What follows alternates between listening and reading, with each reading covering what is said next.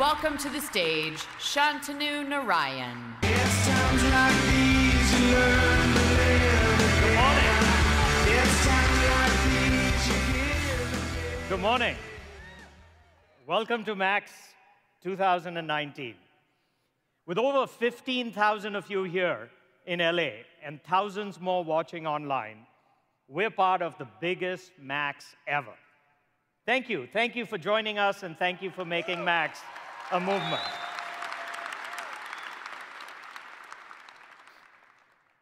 MAX is the opportunity for us to connect as a community, to celebrate innovation, to be inspired by each other's ideas, and to take creativity to the next level.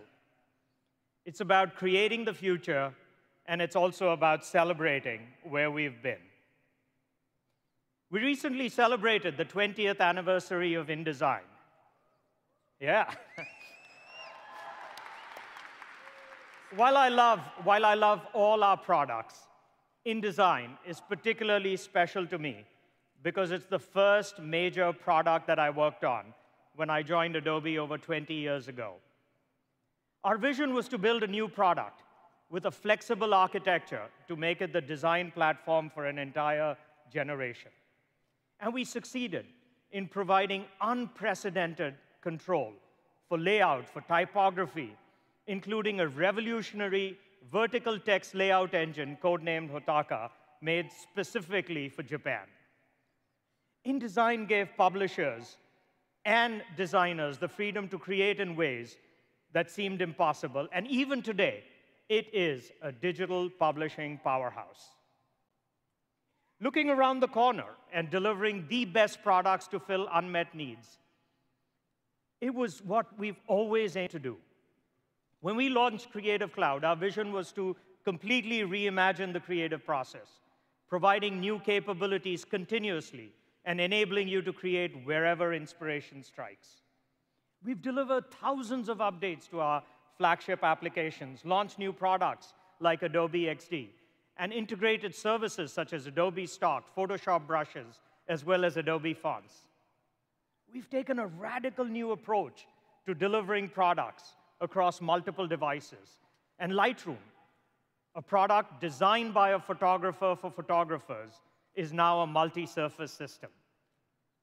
We've reimagined the role of mobile devices in creativity and delivered products like Adobe Scan, which is truly intelligent PDF creation for the mobile era. And I'm always blown away when I see Fresco in action, making drawing and painting come to life on a tablet. Finally, the ability to draw with a stylus rather than a mouse. But we aren't resting on our laurels. Today is all about sharing with you the next generation of innovation that's coming from Adobe. Our mission is simple and powerful. We want to change the world through digital experiences. And it is this purpose that has guided everything that we do for over three decades. With Creative Cloud, we're unleashing creativity, giving anyone, anywhere, the tools to express themselves.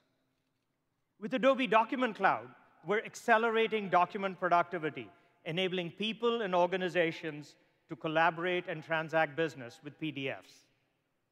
And with Adobe Experience Cloud, we're powering digital businesses of all sizes, helping them design and deliver engaging customer experiences. All of Adobe's 22,000 employees have a singular focus on empowering everyone to create experiences that inspire, transform industries, and move the world forward. I truly believe that we're in the golden age of creativity. Storytelling has never been more rich, thanks to the innate desire to communicate and the power that we have today with digital technology. It is the foundation of arts, of culture. It's critical to education and entertainment. And it powers societal change as well as drives economic progress and breakthroughs. Because it doesn't matter if you're a designer, an engineer, a student, or a business owner. Creativity today is a fundamental skill. And at the core, creativity is actually all about making emotional connections. Digital literacy helps students see things in a whole new light. And educators in the US realized that students were struggling to connect to Shakespeare. So the Royal Shakespeare Company and five artists, including Octavia, one of our Adobe creative residents, set out to change that.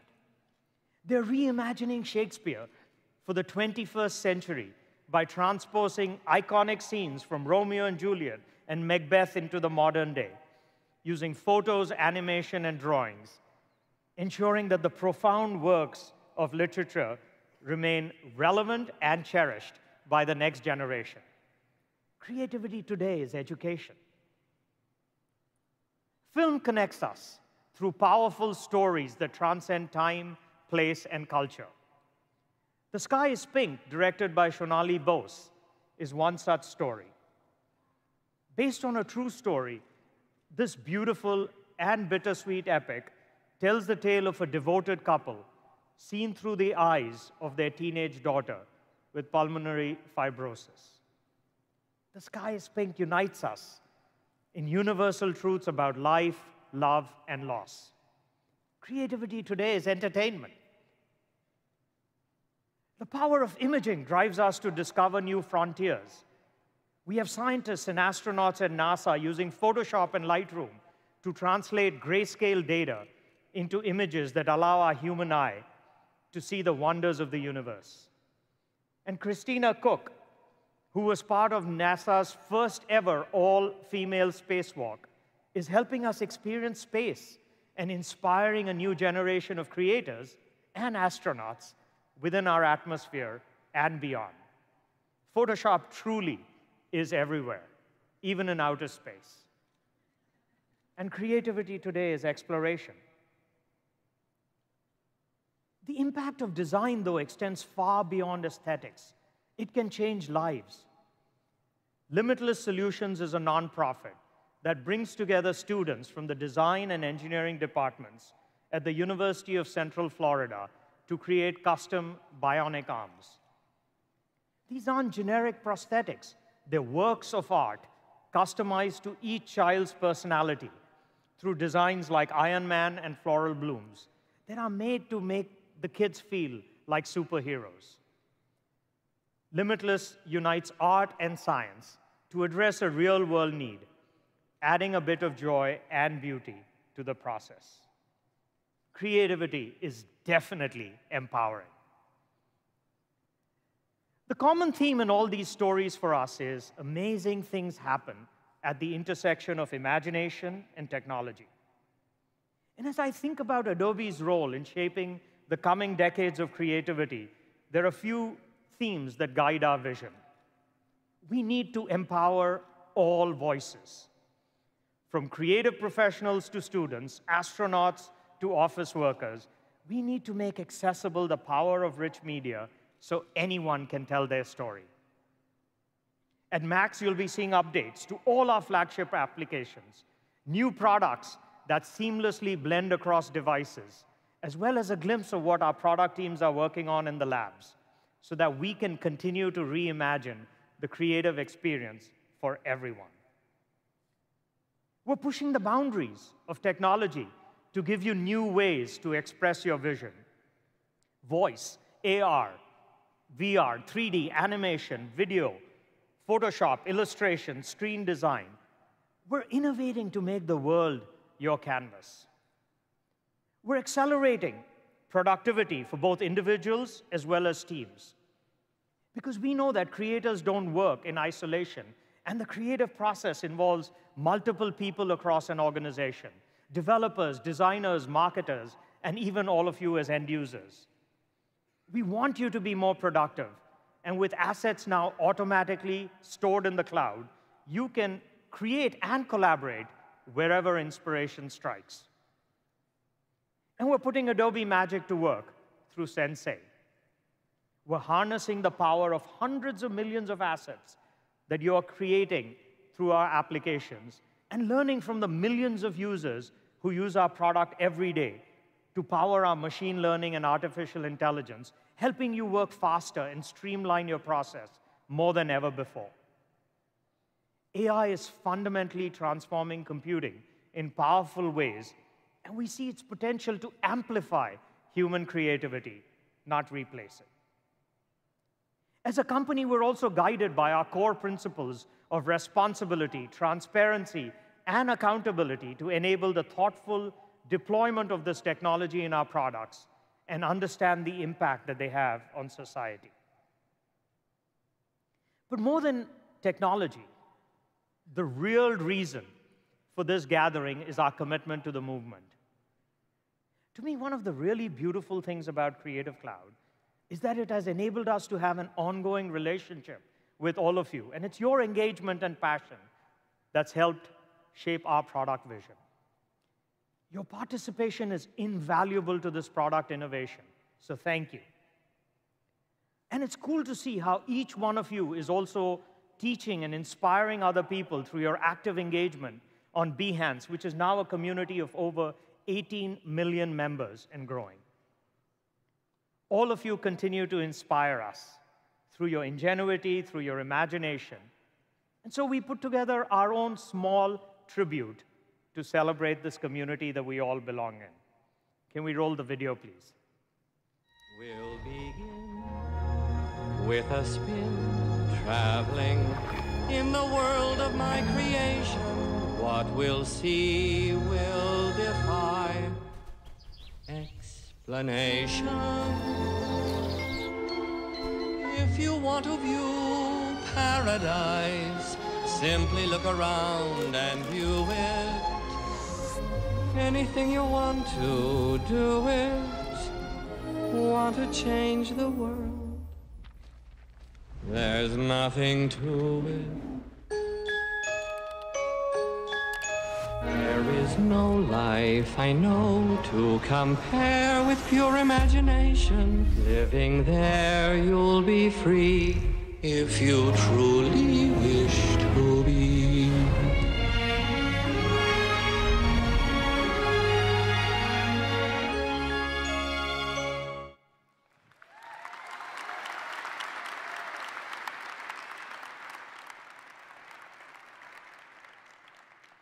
The golden age of creativity may be aided by technology, but it's only possible by you, the creators. You have vision, you dream big, and we're privileged to be part of what you do. Thank you for being here at Max, being part of our family, and inspiring us to do our best work. We can create a place that's more beautiful, more colorful, and together we can change the world. And now I'd like to welcome our Chief Product Officer, Scott Belsky. Enjoy Max.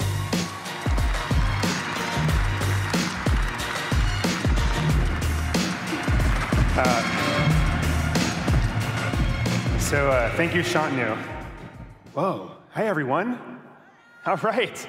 Um, let's, uh, let's kick off this Max with uh, just a bit of perspective. All right? Creativity, imagination. I mean, these are the uniquely human traits that gave rise to civilization.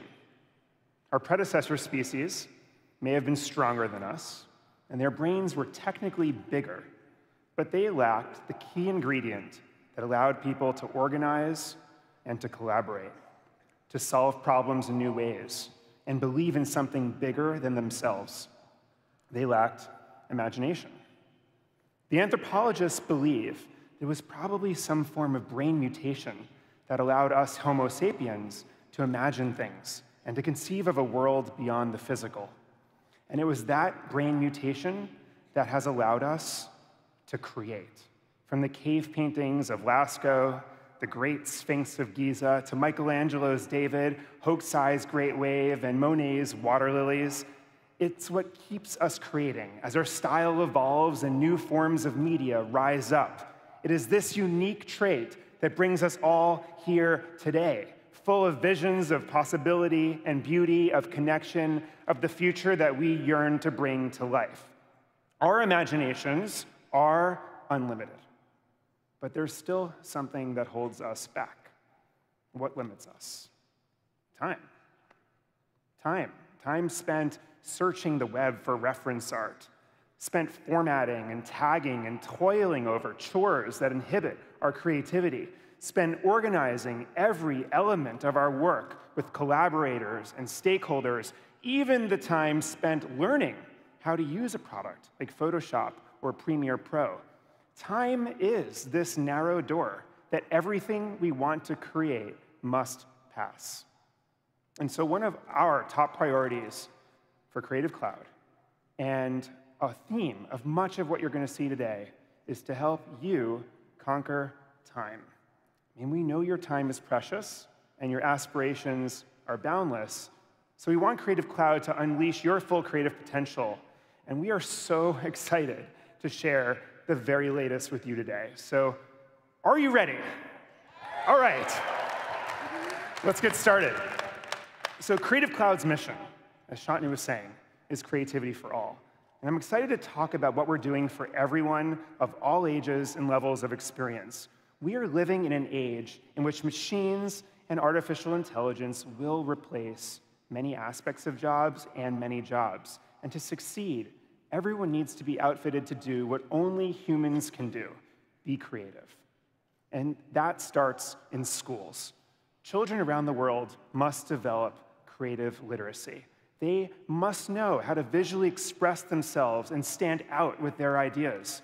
And so we are preparing the next generation by deploying Creative Cloud now to more than 15 million students worldwide. We are, thanks. We, um, we're also fueling this shift with our Spark products, which empower anyone to make compelling, there's a Spark team maybe back there, which empower anyone to make compelling social posts and put together their own videos, posters, and web pages. And so if you haven't tried Spark yet, check it out. Some of the greatest brands and social influencers around the world are using Spark to be creative and share ideas in real time every day on so many platforms. And then there's Photoshop Express, which over the last year has been used more than 1.8 billion times to do amazing things with mobile images. So we are fully committed to bringing creativity to all through these products and more to come. Before we jump into our pro products and today's themes, I want to express gratitude to the thousands of customers, including many of you, who have helped and shared feedback, participated in betas and user tests, and even let us watch you work. We have spent the last year understanding what frustrates you and obstructs your creativity, what will make you more productive as you work with others, and what you'd like to do with new mediums and techniques. Understanding how you create and what you need helped us define three principles for our work this year. First, we are making Creative Cloud faster, more powerful, and more reliable. Second, Creative Cloud now enables you to create anywhere, anytime, with anyone. And third, we're helping you explore new frontiers. So let's start with this first principle, all about performance which prompts the question What should you expect from modern tools and services that you use to create? They should start up fast, make your work easier, and be super reliable. As operating systems and hardware evolve, your expectation for power and performance go up, as they should. And we can do a better job of meeting and exceeding these expectations, and we are committed to making it happen. Under the hood, we are fundamentally improving how we build products. We've made great strides this year, and we're excited to have you discover the many, many improvements throughout Creative Cloud. I'm happy to report that we have drastically reduced bugs, improved performance, and attacked crash rates across all of our products. And you will see a difference in things as simple as how quickly a new document loads in Photoshop how solid and reliable cloud documents are, and how smoothly you can work with thousands of complex assets in XD. And yes, our teams still have a lot of work to do. You will continue to see progress on these fronts update by update. Okay, now let's talk about creating anytime, anywhere, with anyone. Creativity has always happened on its own terms, wherever and whenever an idea strikes, and have, has always thrived from collaboration. But for much of the digital era, creative tools have forced us to work alone, bound to our desks. And it's about time that we break through. You know, through the confinement of the desktop, the inability to create together, and the challenge of sharing assets and staying coordinated with our teams. Today, we will show you what's possible when we remove these limitations. Welcome to a world where you can just take Photoshop on the bus or paint with realistic oils and watercolors with no mess while you're sitting waiting for the plane, and then finish up on Photoshop Desktop at home. And spoiler alert, we are going to give you the first glimpse ever at how we will extend another one of our most popular apps beyond the desktop. Uh, we are also going to share some significant updates today to how you collaborate more efficiently. The new Creative Cloud libraries and the design system technology in Adobe XD help you conquer time in more ways than ever before. They make it easy to share assets and components to ensure consistency, and they empower creative teams to work together seamlessly. Finally, let's talk about exploring new frontiers. One of the most exciting new frontiers in creativity is 3D and immersive creation. And whether it's for mediums like virtual and augmented reality, or designing 3D objects for games or modern e commerce experiences, Creative Cloud now offers the very best tools to bring your ideas into the third dimension. This year, we welcomed the Substance Suite, often referred to as the Photoshop of 3D, into the Adobe family. And we're launching the first version of Adobe Aero today, which helps you create augmented reality projects using tools you already know, like Photoshop and Dimension. But pushing frontiers isn't just about adopting new tools and creating for new mediums. It's also about pushing yourself out of your comfort zone and developing new creative skills. What's the best way to take your skills to the next level or to learn something entirely new? Ultimately, it's actually looking over an expert's shoulder and watching them create. And so we're enabling that kind of learning on a massive scale in Creative Cloud with new features like step-by-step tutorials master, from master photographers in Lightroom, and we're helping you learn on Behance. Nearly a million people viewed live streamed content on Behance this year, watching on average more than an hour in each session. And next year, we're going to give you the ability to live stream your work direct, directly from your tools, just the same way that the best game, design, game gamers do using Twitch, so that everyone can learn from you and you can learn from others. And hey, it's not just about learning. I mean, isn't it mesmerizing to watch an artist at work and understand why that happy little tree gets placed there? Well, that's, that's part of the future as well. I could not resist paying homage to Bob Ross, so thanks for indulging me. All right. Um, okay, so you're about to see a lot of improvements to our flagship applications, but Creative Cloud isn't just about the tools. Just as important are all of the services that tie those tools together. So we have made incredible updates to Creative Cloud libraries and the new Creative Cloud desktop app that will make your work so much easier. And I'm going to show you this for myself. So here we are. This is actually the new Creative Cloud desktop application that some of you may have discovered and some of you may have not. And this is where this is really the central place for everything creative. So you can see all of my desktop apps here, but also the mobile apps, web apps, everything are now accessible in one place I also love the new categories. So this is actually a way for you to find the right tool for you at every level of expertise across every category covered by Creative Cloud. And then these new product pages are essentially micro communities for every single product in Creative Cloud. So I can jump into Photoshop, and then I have just tons of courses, resources, um, inspiration content, but also links to the forums and top topics and everything else. So uh, don't miss um, just the way of navigating apps now in, in Creative Cloud Desktop. Of course, the resource links to services like Stock, Fonts, Behance, everything is all here as well. I also kind of like the new search in, in, in, Creative Cloud Desktop. So this actually allows you to find, you know, obviously everything right at your fingertips for every search term. And of course, apps help content and everything related for what you're searching. But also all the stock content that you might need based on a search query um, now can just be accessed here. And then your work. So this is really cool. Creative Cloud Library is now in almost every application across Creative Cloud. Um, and then now everything from all of your libraries that are shared with you or that you made yourself are all um, searchable and filterable all from one place in the Creative Cloud desktop application.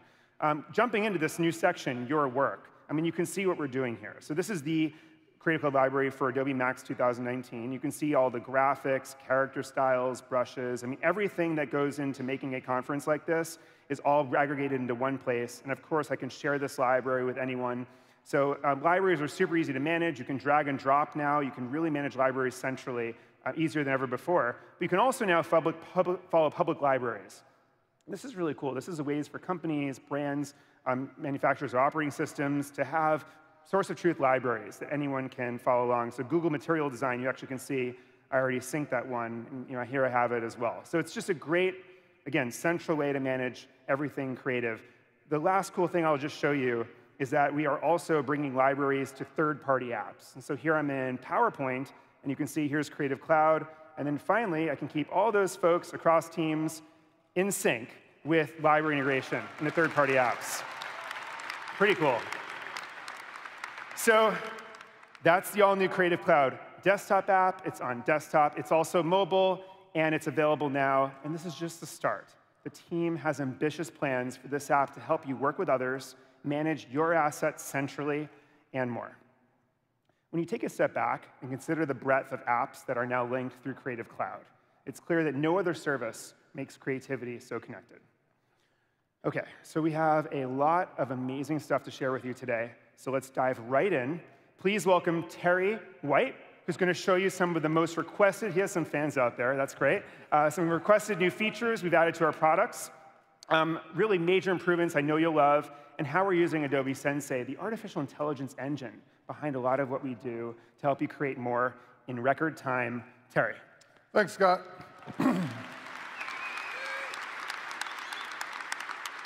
I am so excited to be here today to not only show you some of my favorite new features across desktop and mobile, but also some of the performance enhancements along the way. So let's get to it. Well, speaking of performance, I'm going to start here in Photoshop, and this may seem like a little thing, but if you've ever created a new document in Photoshop, you wonder why that new document dialog box takes three, four, five seconds to come up, you'll be happy to know that it's now instantaneous. A little thing, but it goes a long way every single day. Next up, let's talk about free transform. Last year I introduced not having to hold down the shift key. We got your feedback. And now you want that experience to not only be consistent across pixel and vector layers, but you want to be able to toggle it based on your preference. And that preference is now sticky. So whatever you choose, that's the way it's going to be. So let's go into Warp, one of my favorite new capabilities. Now, I, I switched to Warp. I didn't get the standard 3x3 grid, because I can go from three by three all the way up to five by five, and, that's, and if that's not enough, I can click to add my own custom points wherever I need them along the way, and I get the ability to hold down the shift key and select multiple points at the same time so that I can transform this flower to make it a little wider and a little taller, just like that.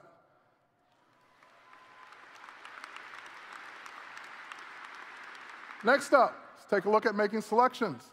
In the past, I might have used Adobe Sensei's Power Select Subject, which in this case, it would think all of the food is the subject. But what if I only want one thing? Now with the new Object Select tool, even in the shape of a rectangle, I can just go ahead and make a selection, and Adobe Sensei figures out what I was trying to select and does it for me.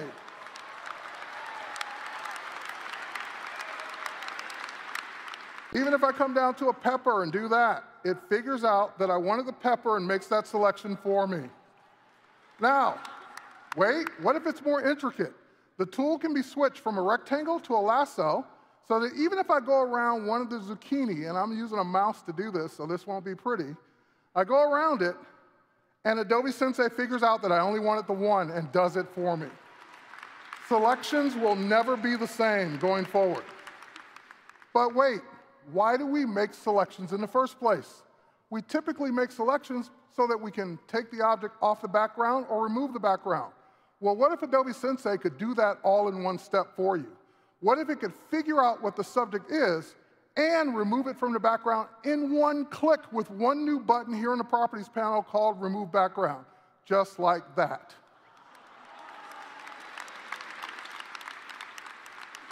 Now, I know what you're thinking. That was too quick. Got to see that again on a different image. Click. Yep, it does it on that one too. And this truly is how Skynet got started. All right, switching gears. Now, this beautiful image created by artist Isabella May, she creates these images from scratch with literally hundreds, if not thousands, of layers. And this is a five gigabyte file, so we're gonna talk about performance, but more importantly, when you get a file like this, especially from an artist, typically the layers may not be named as best they could. So in this case, I've got a lot of background copies here, but that's okay. I need to know what's on the layer, so now with the new zoom to layer capability, I can hold down my option key and just click, and it will zoom to that layer and show me what's on it. I can isolate it and then name that layer, and let's do that one more time. Zoom to layer, isolate the layer, see what's on it, and know exactly what's on my layers going forward with extreme performance now in Photoshop. Now I'm going to switch gears. We're going to switch over to Illustrator. Illustrator's all about vectors. And of course, in this version, it's all about performance as well. I've got literally thousands of vectors selected here. But wait, let's zoom out because that's going to take a minute, right? Nope, instantaneous. Zooming with thousands of vectors in Illustrator GPU performance is amazing. I love it. Now, wait about, what, what about drawing those paths? Now again, I, I, mentioned that I don't have my Wacom stylus here, I'm just using a mouse, so this is not gonna be great. I'll do the best I can. Too many points. Well, with a new improved simplified path, I can go to path, simplify, and it figures out, hey, we don't need that many points for that path. Let's take it from 28 down to four without changing the shape just like that. So you'll, you'll love those improvements on simplified path in Illustrator. Now, switching gears to InDesign. InDesign gets a speed boost. It now launches 25% faster than the previous version. But the problem we're going to solve today is the client doesn't like that image. I'm trying not to take it personally because I took this image in Malmo, Sweden of the turning torso. But they want a different tower. I don't have a different tower.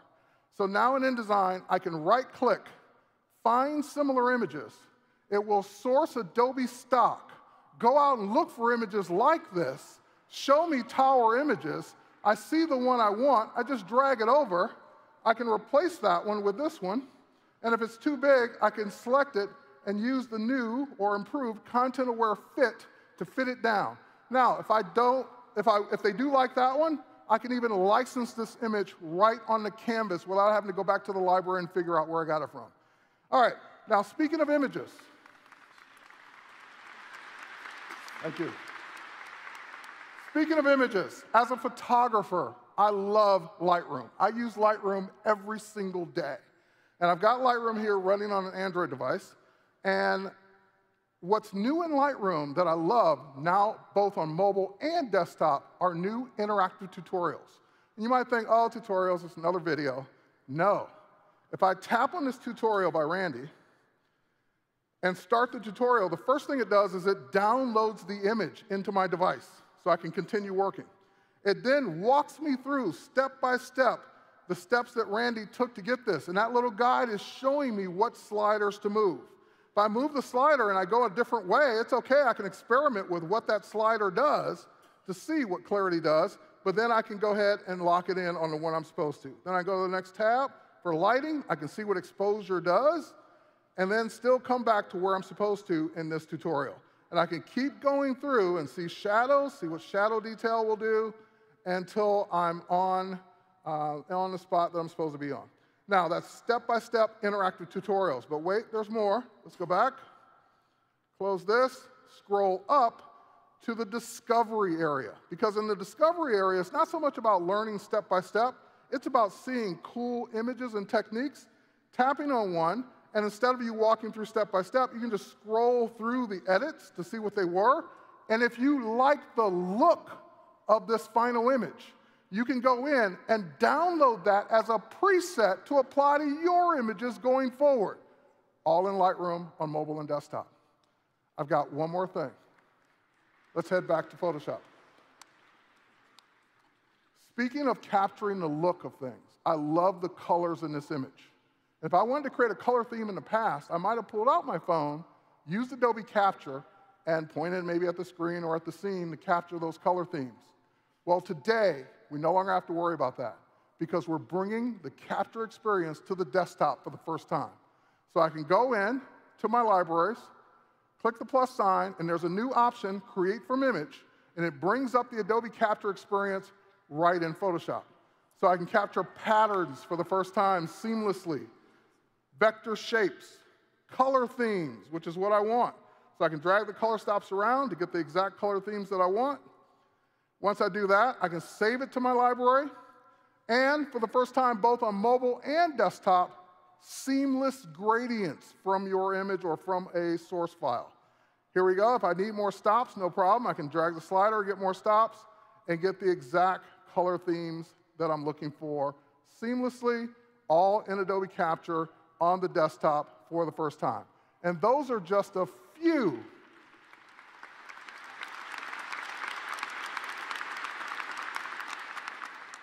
And those are just a few of my favorite things on the desktop and mobile, as well as performance enhancements. Back to you, Scott. Thank you. All right, thank you, Terry. So those are just some of the new features and improvements hitting our flagship products today. Um, so as you can see, there are a lot more. Uh, and a lot of these are the result of your feedback. So thanks again for your input this year. Please keep it coming. Uh, now, Terry mentioned stock during his demo. Uh, stock now offers a grand total of over 180 million assets, including 13 million videos, 32 million vector assets, motion graphics, illustrations, everything you need to start building a great project. It's just growing, so be sure to check out the latest in stock. Okay, shifting gears. It was just about 30 years ago that we launched Photoshop. You remember? Um, who remembers the first time they used Photoshop? All right. I was 13, setting up a new computer at my parents' dining room table. Opening up Photoshop gave me this feeling of infinite possibilities. And over the decade, Photoshop has changed creativity more than any other application in the world. Last year, we shared a preview of Photoshop on the iPad. The project required us to reimagine Photoshop from the ground up. We transformed the interface for a mobile, touch-based world. We made the power of Photoshop more accessible and easier to learn. And we developed a new way to work with PSDs in the cloud, just as we've done with Lightroom and XD files, so that your projects show up across devices and you can pick up right where you left off. And when we shared the application with our pre-release community, one benefit people mentioned often was a sensation of being so close to your pixels, the physical connection you get when you're holding your work in your hand and making changes naturally. And so we are super excited to extend the Photoshop family to the iPad today.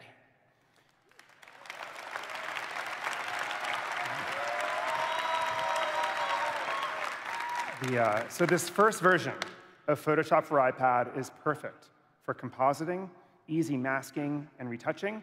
And here to show you this revolutionary application is my colleague, Emily Bogue. Emily. Thank you, Scott. Good morning. What an unreal honor to be here launching the very first version of Photoshop right here on the iPad. Let's jump right into a quick overview. So the first thing you'll notice is the experience is intuitive. On the left, I have my core Photoshop compositing tools. On the right, I have easy access to my layers, all those things I want to do with them, and my properties panel with different options depending on my layer type.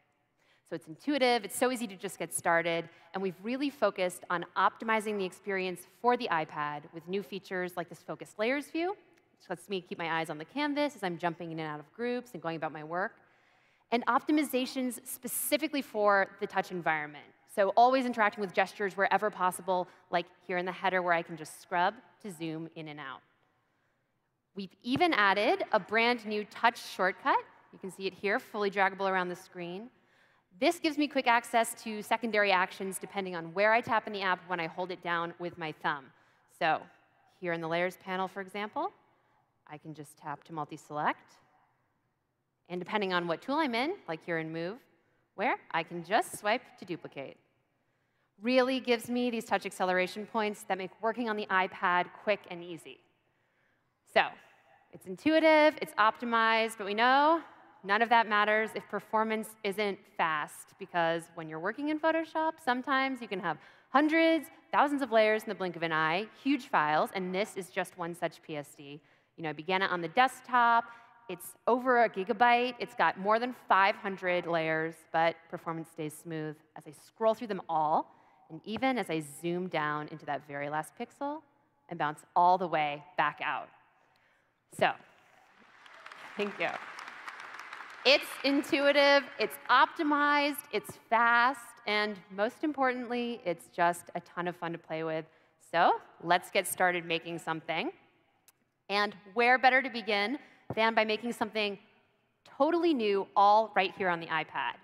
So as I jump into creating a new document, you'll see that familiar screen, all those presets you know from the desktop. In this case, I have a custom one ready to go.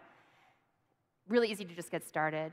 And I'll bring in a few images from my background from those same libraries Scott and Terry have been talking about. It's where I keep all my inspiration, my assets, like this moss, which is that texture I love, but you can see, you know, that bright sky is not exactly the look I'm going for here.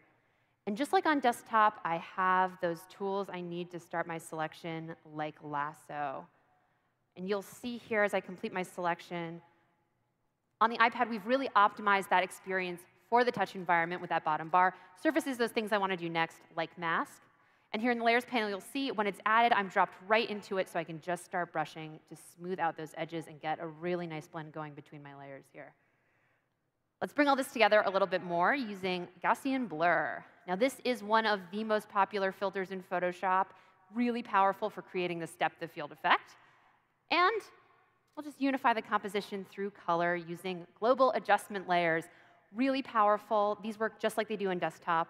You can see as I tweak the color here, I can get just that tone I want, and I can go back and edit this at any time here on the desktop today or next year. Great. So my background is ready. Now let's add a magical element, really make this composition pop. And back here in my libraries, I have this mushroom I've been wanting to use. You can see as I start this selection with my quick select tool, you know, it's the style I love, kind of a video game toadstool, but it's going to need a little work to really pop in this composition. And as I extend that selection using the lasso, something I really love about using the iPad and the Apple Pencil is that this actually feels really natural, even on stage in front of 20,000 people. it's just like tracing. Actually breathes new life into this tool, which cannot always be the most fun to use with a mouse. there we go. Again, I'm right in that mask, so I can just soften it using Gaussian blur. And then clean up those edges, taking full advantage of all that pressure sensitivity of the Apple Pencil. Really natural, gets that mushroom right where I want it. Okay, so now let's add that pop of magic I was talking about, right? And here in the Layers Properties panel, we've made it really easy to add clipped adjustment layers. Now, this is something people want to do all the time, even if they don't know about clipping, and that's change the adjustment, change a, a property of just one layer. So as I add HueSat here, you can see, I'll bring up the saturation, only that mushroom is starting to glow. And again, I'm, that mask is added for me, so I can just start brushing to bring down where I've blown it out in the cap. That is the precision I expect from Photoshop. Cool. so I've got this lighting effect coming together. Let's really heighten that by playing with blend modes. And here I've got those blend modes I want, like overlay, which is my favorite for this type of work with glowing light. It's really easy to just grab a color, brighten it up a little bit, and as I start brushing here, again, full pressure sensitivity of the Apple Pencil, you can see immediately that mushroom is starting to glow. Really looks like the cap's illuminated. And then I can just go back in, add a little highlight every, anywhere I think it hits the rest of the image. And now that I'm thinking about that play between the glowing mushroom and the moss below, let's bring that even further with one more clipped layer. I can bring down that exposure and then just start painting on that mask to show a little light from that original layer beneath. Such a subtle effect. Really feels like I'm painting with light here. Cool. So I've blended my elements together. I've created this dramatic play between light and dark. Now, let's just top it off with a little fun. Back here in my libraries, I have some sparkle in the form of these fireflies. And this is another great place to use my blend modes, like screen. Makes it really easy to just bring only the light into the image, Saves me so much time, and then I can just create one more level of depth using Gaussian blur. There we go. In just a few minutes, I've gone from a totally blank canvas to this magical, completely non-destructively created composition, all in Photoshop and all right here on the iPad.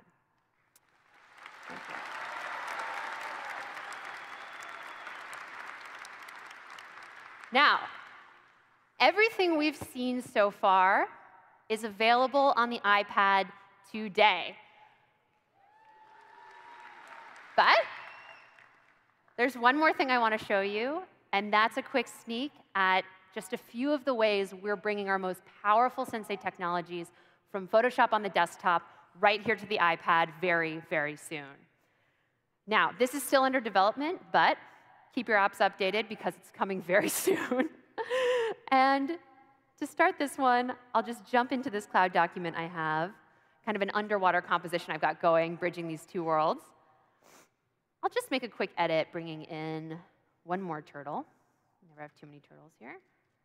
And of course, you know, the next thing I want to do, sort of integrate this more tightly into the composition, start a selection, mask it out.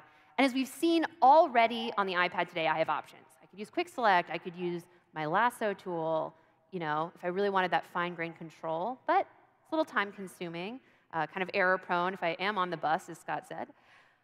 Of course, there's an easier way. If I were on the desktop, I would just use select subject. And we're bringing that full Sensei power of select subject right here to the iPad. All, yeah, all I have to do is tap this button, and there we go. I have to pause because if you blinked, you missed it, like in Terry's demo. In the tap of a button, Sensei has analyzed my layer, identified my subject, and started my selection for me. It saved me so much time in tracing. Really feels like magic here on the iPad. So that's select subject coming soon here to the iPad. And for this next sneak, I'll bring in an intrepid explorer to bridge these two worlds. This guy's up to the task. Of course, now that I have select subject, I'll use that to start. And it gets me 99% of the way there. But, you know, never hurts to have a human touch. And of course, this type of hair is always tricky to select.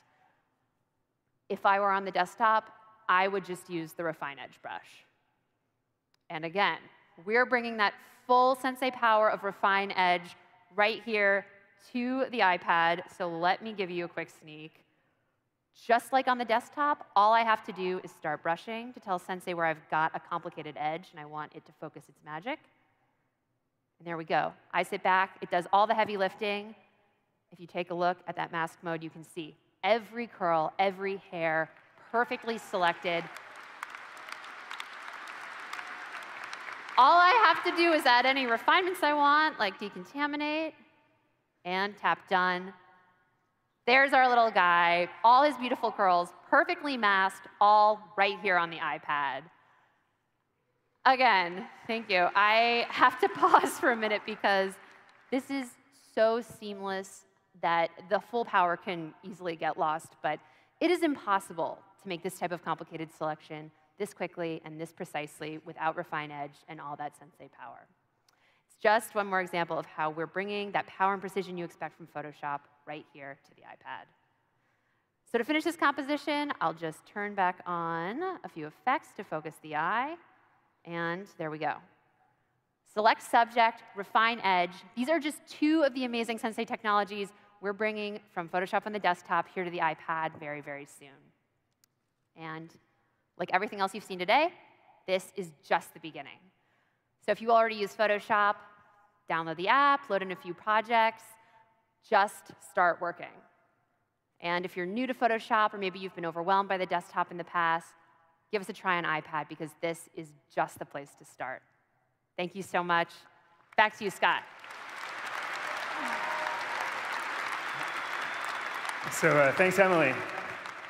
If you are a Creative Cloud customer with Photoshop, Photoshop on iPad is included in your plan starting today.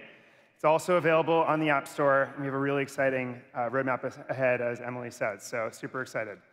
Uh, now, as Shantanu said earlier, we want everyone to have the creative skills to tell a story, their story, in a compelling way. And there's no better way to develop your creative literacy than through drawing and painting. Drawing and painting really do unite the mind, the body, and the imagination. And we developed Adobe Fresco to help everyone experience that powering, that, that liberating power uh, of creation. What makes Fresco the world's greatest drawing and painting application? Well, Fresco has all of the technical tools digital artists need, including the ability to use vectors and powerful, versatile Photoshop brushes. But what really sets Fresco apart are the live brushes. Adobe scientists spent years studying real oil and watercolor paints. Fresco's live brushes reproduce those media more accurately and realistically than any other application out there, making the experience of painting and drawing in Fresco natural and expressive. Here to show you what you can do with Fresco is the one and only Kyle Webster. Kyle. Hello. Okay, thank you, Scott. Uh, how's my hair? I could spend my time up here telling you all about the professional features we have baked into the app vector brushes, round trip to Photoshop, layer blending, masking, and so on. But what I really want to do is just show you how much fun it is to paint. So I've got a watercolor brush here, and I'm just going to put a little color on my canvas like so. And maybe this is small and you can't really see what I'm doing, so why don't I zoom in? Because I really think you're going to notice the magic when I add a secondary color. When that yellow touches that red, look at that gorgeous blend into the orange, just like the real thing. Now, these watercolors we control with two simple sliders, water and how much paint you have on your brush, just like a watercolorist would want. And sometimes I just sit there and I blend colors with no real purpose because it's just fun to look at it, frankly. All right, I'm going to add a little bit of purple down here in the corner, and every time it touches that red, we get a nice new color. And I'll just pull it up this way. Mm -hmm. Delightful. And a little bit of a bright blue, and every time it, oh, watch that, it touches that purple, and we get a gorgeous violet color coming through.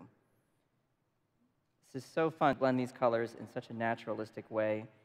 And if I want them to be wetter, I just crank up the water and I get a lot of nice bleeding effects like that. Maybe some of you have figured out what I'm painting here. Maybe not, but maybe it'll be obvious the moment I add that. Okay, this is a toucan, one of my favorite birds, one of my kids' favorite birds. And what I love about toucan is it rhymes with you can, and I know that you can create beautiful art with this app because really it's as simple as just picking up a brush and going for it. So we'll add a little green there. If I want to go back to that yellow I used earlier, it's so easy because I have a color history panel right here waiting for me. So I never have to worry about, oh, what was that color I was using earlier? It's already there, no problemo. All right, Sometimes I need a little bit of a detail. And for detail, I need a detail brush, and I've got a detail brush right here. And I'm going to use a darker color, and you'll notice that I'm able to bring that brush to a very fine point, just like that. And this is because this brush will respond to that pressure sensitivity. So more pressure, wider mark, less pressure, less so. Let's give him a little eyeball. It's important for him to be able to see his environment. Very nice. Here's something I couldn't do in the real world, which is pick up an eraser and just start wiping away some watercolor. Put a highlight right there, a little highlight in the eye. Couldn't be simpler. I'm going to go now to my wash brush and just bring some of that color down. And then I'm going to do something really fun, which is paint with pure water. Now with Fresco, all you have to do is select your color wheel. At the bottom right corner, you'll notice we have a transparent circle. The moment I select that, and then use a nice soft wash brush, all I'm doing is adding water to the canvas. So look at how that all blends together. Beautiful. I'm not adding paint, I'm just painting with water. So I think our little guy looks pretty happy, but he needs a place to live. And I'll tell you something else I like about, about working in a digital environment.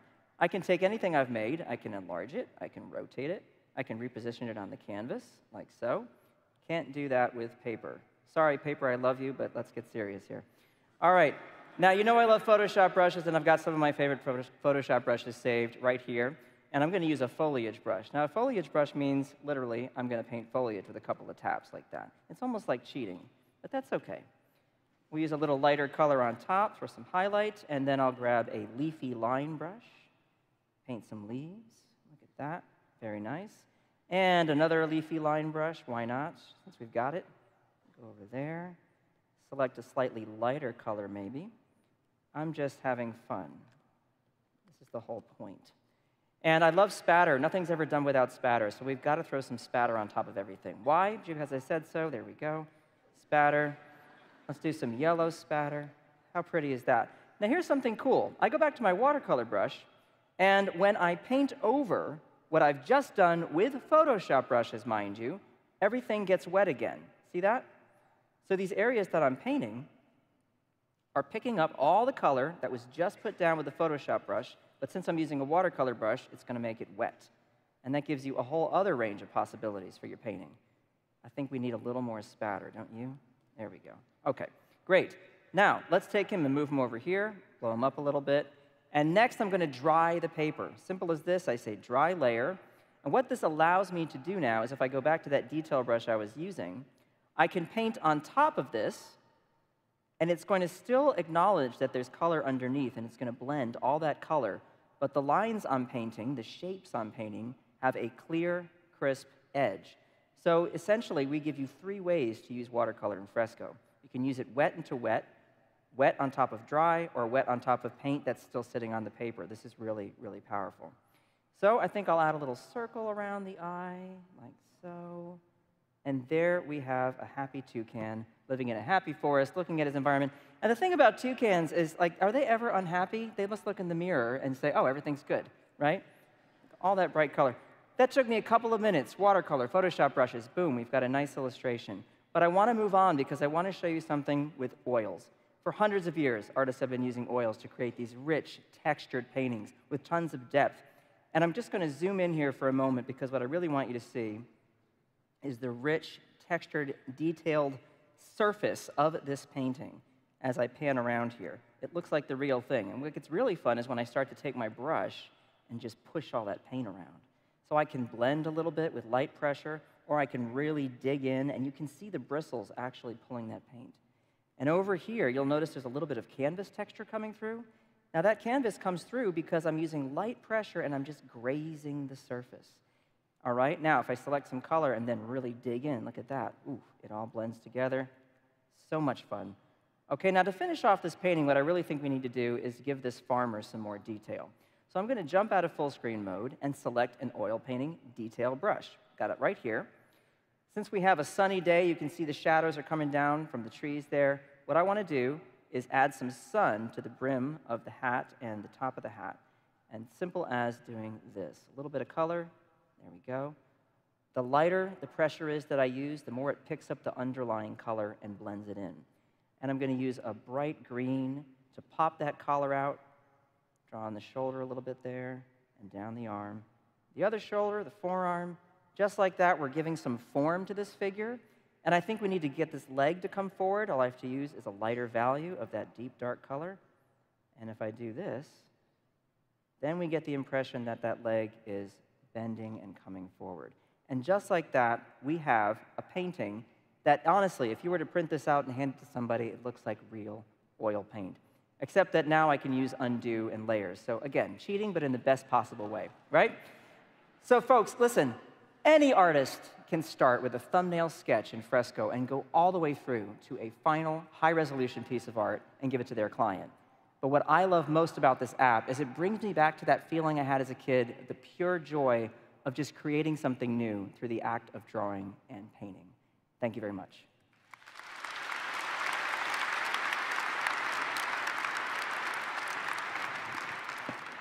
It's kind of, kind of mesmerizing, huh? Uh, so thanks, Kyle. We shipped a new version of Fresco for iPad this morning with a ton of great new features, so hopefully you check it out. And today, we're very excited to launch versions of Fresco for select Windows and Surface devices and the Wacom mobile studios. Fresco is powerful and versatile enough for professionals, artists, and illustrators, but we want everyone to engage in the art of drawing.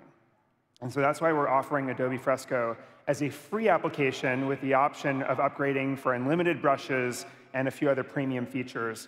And the premium version of Fresco is available in select Creative Cloud plans um, since we launched a few weeks ago, people have already created over a million drawings and paintings in the app.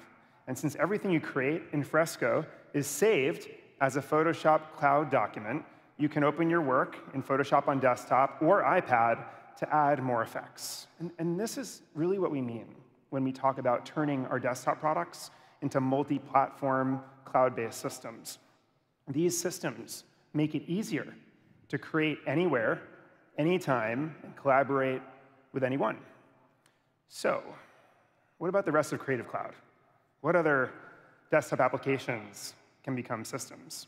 Well, today, we are proud to give you a preview of the next step in our evolution, Adobe Illustrator on the iPad.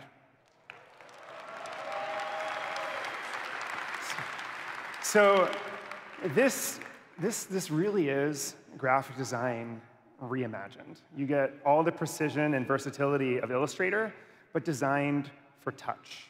You'll be able to open projects on the iPad and then finish on Illustrator on the desktop, and you'll have everything you need to build your project, share it with collaborators, and get quickly to a finished logo, graphic, or illustration. Re-engineering Illustrator for the iPad gave us a chance to also question our assumptions and really rethink the status quo. And I think you're going to see an Illustrator that's not just mobile, but a lot more intuitive and easier to use. And to show you Illustrator on the iPad for the first time ever, please welcome Eric Snowden and Dipanjana Chakravarti.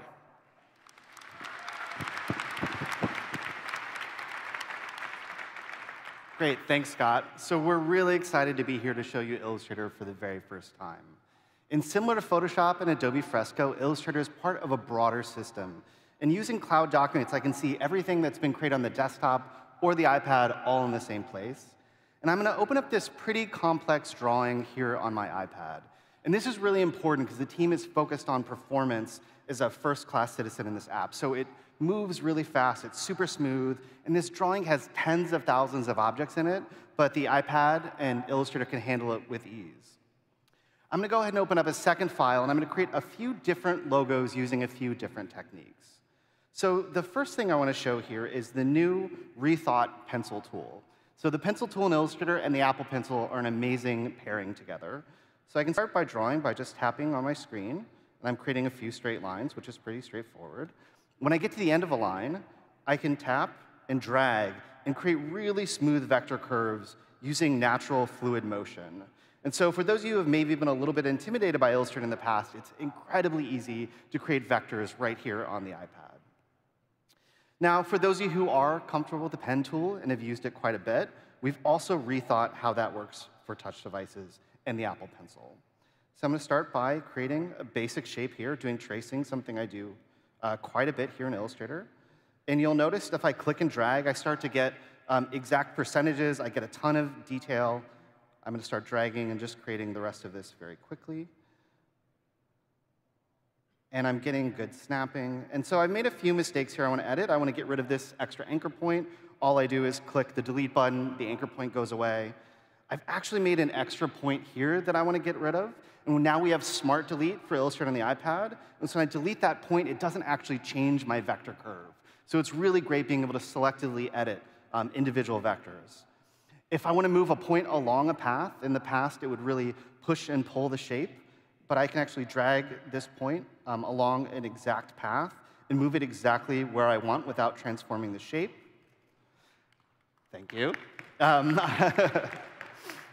and I've also got the ability to change things by exact pixel increments. So if I scrub here on my X and Y, I can get very, very precise. And that's really important when using Illustrator.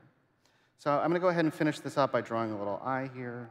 Um, and now I want to tweak the type. I'm really not happy with this typography. And so if I select this piece of text and I go into my, um, my properties here, I can actually change the size, I can change spacing, everything right here on screen without digging through a lot of complicated menus. But if I do go into my properties panel, it's really easy to try out different fonts on the screen. I can click and drag and actually preview different fonts instantly on the screen in my design to see how things look. And if I decide none of these are quite the right font, I can tap, and I'll get access to all 17,000 Adobe fonts right here within Illustrator. I can pick one I like and finish up my design. So the last thing I want to show here, um, again, is a really common workflow where you draw something on a piece of paper, you take a photo, you bring it into Illustrator, and you trace it all over again. And we think there's a much better way using Sensei. So if I select this image, and I go into my drawing guide, Sensei is going to analyze this image, find all the underlying shapes, and create an amazing trace for me right here on the iPad.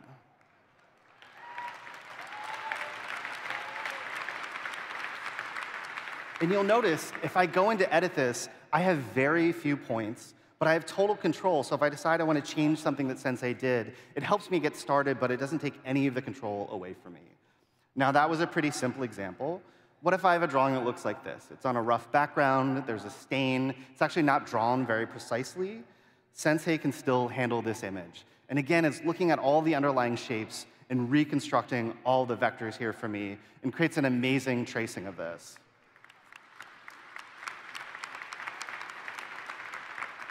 And because I have control, I can go into this image, and I can actually edit the underlying construction shapes that will then change the entire vector.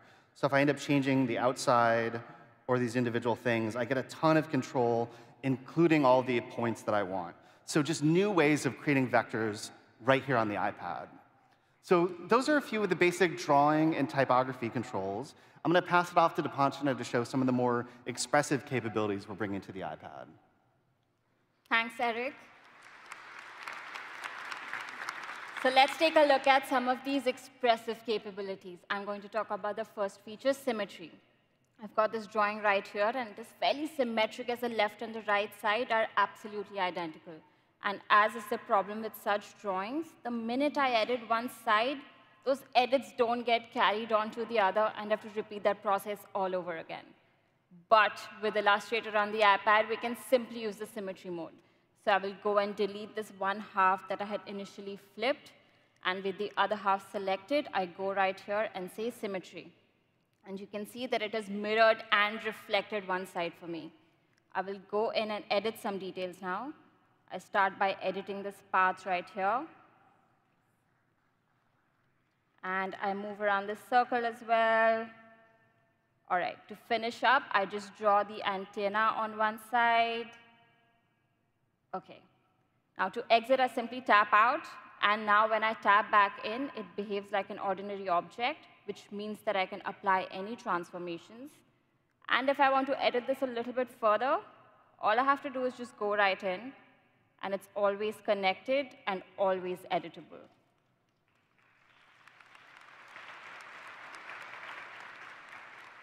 So that was the symmetry mode. Let's move on to more new things. The next feature is called radial repeat. I have this form here, and I want to rotate and repeat it in a circle. How I do it today is I duplicate and I rotate, and in the process, I've done some fairly complex bit of mathematics to figure out the angles that I need and the instances that I want, and I feed them manually in a dialog box. That sounds like a lot of work, right? We can make this insane process much simpler by using radial repeat. So with my form selected, I go right here and say radial repeat. And you can see that it has rotated these instances for me. I can now change the radius. I can increase or decrease the number of instances.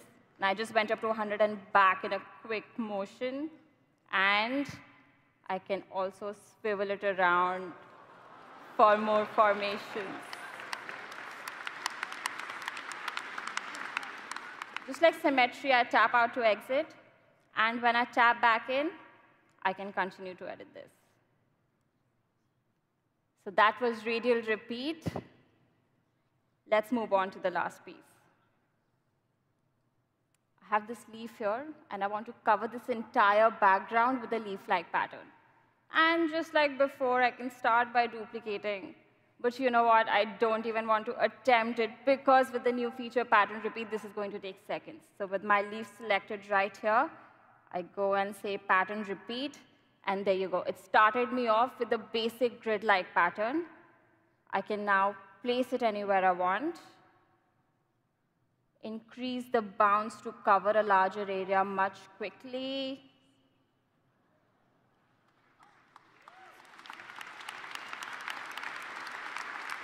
I can play with these on-canvas widgets to adjust the spacing. And it's starting to come together, but it looks a little bland, right? So I will go into the Properties panel to add a little flavor to this. I'll start by changing the grid type to a drop type of grid right here. All right, I tweak it further. I go on columns and do a flip Y, do the same to the rows. All right, now.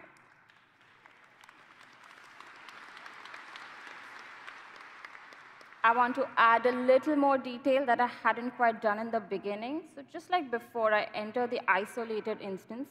And something to note now is that I had created this leaf in the symmetry mode. So all I'm doing is just drawing on one side, and it draws on the other, and it's drawing on the entire pattern as well instantaneously. Now, I will finish up by drawing a little more detail. Oops.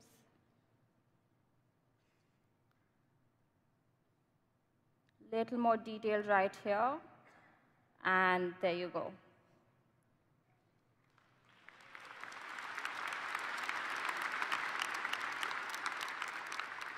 So that was pattern repeat to create complex patterns in a matter of minutes. And Illustrator on the iPad is a complete system with Illustrator on the desktop, which, which means that you can move from one to another seamlessly. And this was just a few of the features for Illustrator on the iPad today. We can't wait to see what you guys make with it. Thank you.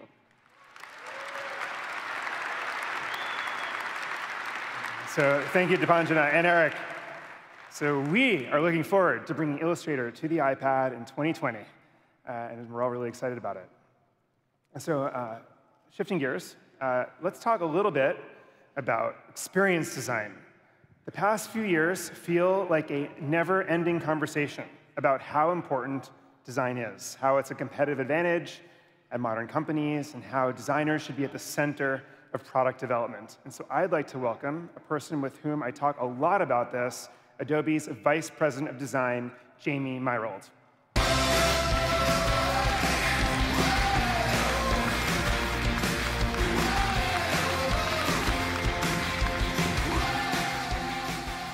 Thanks, Scott. Good morning, everyone. Wow. Before I start, I just have to say, what about Illustrator on the iPad? Is that amazing?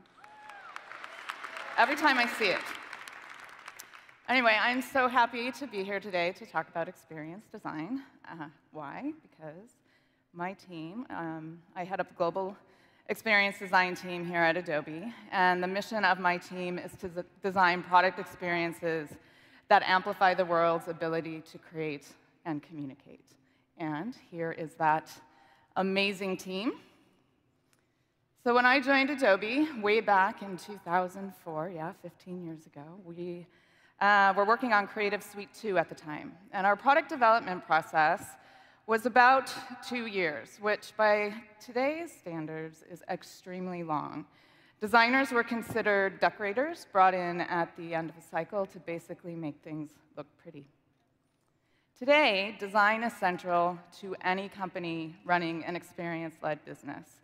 Design organizations are what I call full stack, with superpowers across design operations, content strategy, user research, prototyping, and of course, UX design. And the work that we do has fundamentally changed. We now design for multiple surfaces, devices, and platforms with inputs such as touch, voice, and even body movement. We have an intelligent digital canvas that goes well beyond the screen, opening the door to imagine new immersive and augmented realities. And data plays a critical role in all of the design decisions that we make.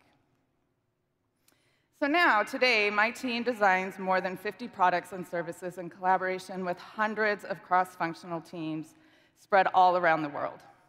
It is a super complex matrix, and most of you in this room use several of our products to get your work done every day.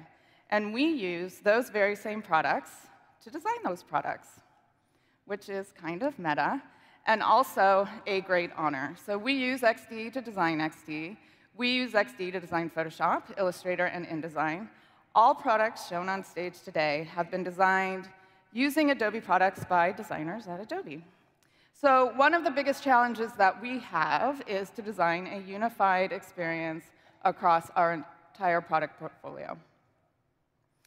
And the complexity of this is overwhelming at first glance. So if we take a simple example, such as a button, there are nearly 1,100 variations of this component across the multiple surfaces, platforms, color themes, and frameworks we design for. And this is just one tiny little example out of thousands.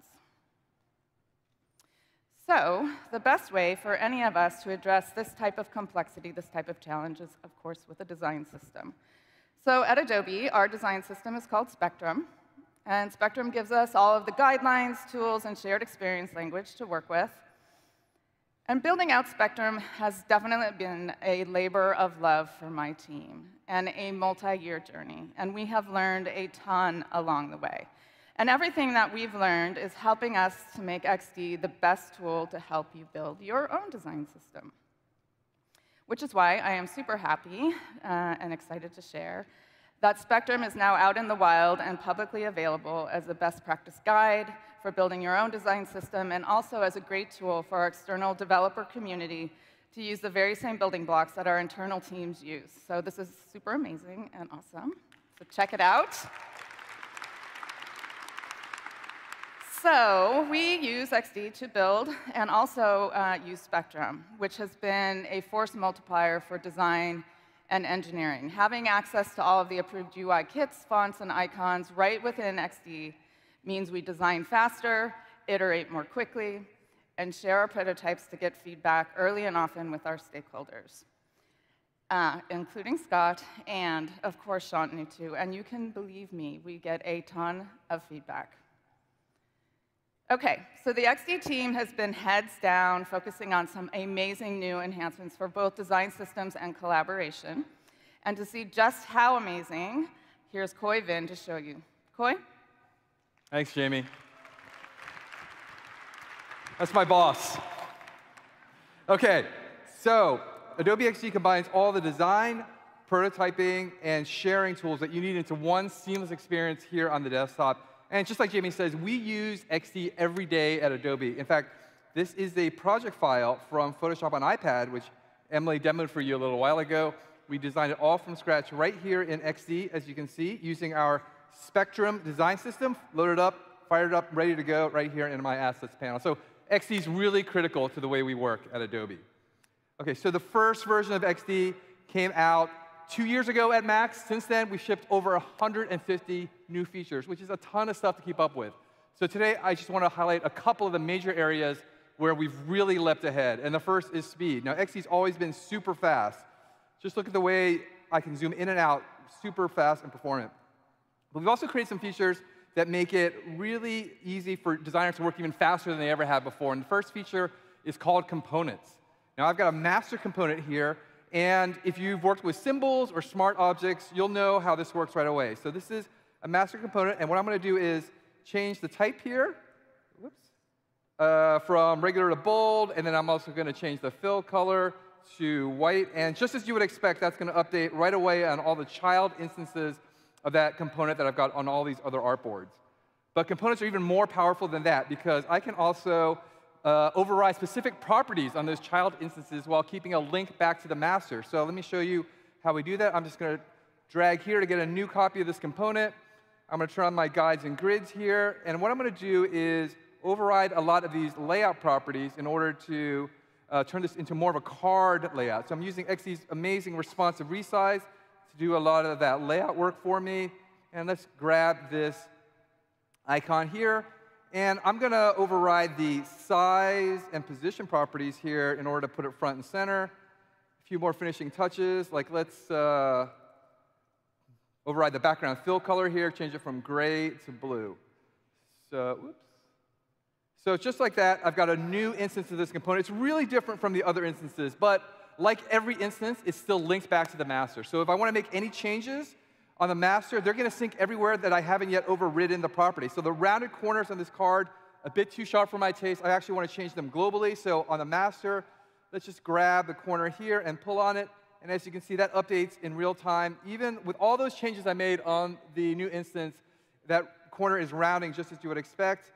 And also, while we're at it, let's change up the position for the scrubber, too. It should really be at 72%, just like the readout says. So I'm just going to grab it and move it to the right. And as I move it, note that it's also moving on all these other artboards in real time. Let me zoom out so you can see how across the whole project it's moving just like that. So just a taste of the kind of sophisticated control that you have over your design solution with components only in XD. No other tool gives you this kind of power. All right, so now let's talk about designing interactions and creating rich interactivity in XD, which is really straightforward with our prototyping features. But if I've got a feature, uh, a screen like this one with a ton of interactivity, like these switches here that need to get flipped on and off, you can see on the screen I've designed them to, to turn green, or different areas that need to open up and reveal different uh, cards or other UI elements, what I'm going to need to do is duplicate this same artboard again and again, and just so that I can simulate each piece of interactivity. And before too long, I've got a pretty cluttered workspace. And once I start to wire everything up for prototyping mode, things are going to get even more uh, crazy. Look at all those wires I'll have to deal with. Well, in the new version of XD, we can actually just delete all these artboards because now I can do everything on one artboard thanks to a new feature we've got called states. Now, states is a way of stashing interactivity, so to speak, into components. So let me show you how this works on the switches. What I've done is I've turned the switches into components, and I've added a tap state to it. You can see here on the right side, my property inspector, and that tap state is green and it flips to the top. And I've used that same component on all these widgets here. And I've also designed some even more ambitious states. So this little weather widget up here, when the user rolls over it, what I've done is I've created a hover state that reveals a little popover menu with a full weather forecast. So let's actually just take a look at this prototype in action so you can see the real power of states. So here's my desktop preview window. I can flip these switches on and off, and I can actually do that in any combination, which is actually something that was really difficult to do using the duplicate artboard method that I was using earlier. And here is that weather widget. If I roll over it, you get the full forecast. Also notice there's a little bit of motion there, and that's because States works with XD's auto animate feature, which is our amazing visual prototyping method. It makes it really easy to add motion to anything, including states. So the transitions in and out of states are super elegant. States can also take on any size or dimension. So this tall, narrow state here if I click on it, it just sweeps open with auto animate, takes over that whole bottom of the screen. All this interactivity just with one artboard thanks to states. Ah, thank you. Okay. So these features are going to make any designer faster, but if you work on a team of designers, that's where XD really shines because XD was built for teams of designers to collaborate. And a key way that we do that is with our support for design systems. So Here's a design system we created for this project. This is just a way of organizing and capturing all of my colors, my um, uh, type, my, oops, sorry, and, uh, my type, uh, uh, my buttons, everything that I need to keep my whole design team working from a single source of truth. And in XD, our design systems are stored in the cloud. And That means that I can access them from work or from home. It also means that my whole team can get to this one single same design systems document. You can see here's a list of everybody who has access to the document. They can edit it at any time. And we can be sure we're not, going to overwrite one another's work because as a cloud document, this design system comes with automatic versioning built right in. So you can see here, this menu shows a long list of the revisions that we made to this one document over time. If I want to save any of them, I can just click on this little bookmark. I'm just going to say max demo. And just like that, this is a new permanent milestone that I can revert back to at any time. All right, so those, thank you. Those are some of the basics of design systems. Now let's actually start using those assets here in this project where I'm working this morning. What I want to do is get those assets here into my document. So under shared with you, here's the name of that document, base design system. Double click on it. And just like that, XD is going to grab all those assets and it's drop them right here into the assets panel. If I want to see just what's in that system, filter by the name. That's, uh, I've got a shorter list, and now I can start using some of these elements right here on Canvas. So the team has been working um, to design a bunch of widgets that I want to use. And this first one here is a login widget. Uh, I don't know why I can't move this stuff. Sorry. My mouse is not working again this year. Oh, wait, there we go. Can I get a different mouse or switch, please? Guys, this is just a ploy to, uh, to solicit your sympathy. So while we're doing this, if you can just feel bad for me for a moment. Um, okay, so here we are in this uh, document. So what I'm going to do is move over here. I'm sorry, it's this trackpad is not working for me.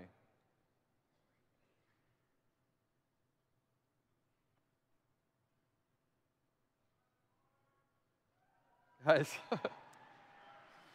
yes. So, um, what are you guys up to this morning?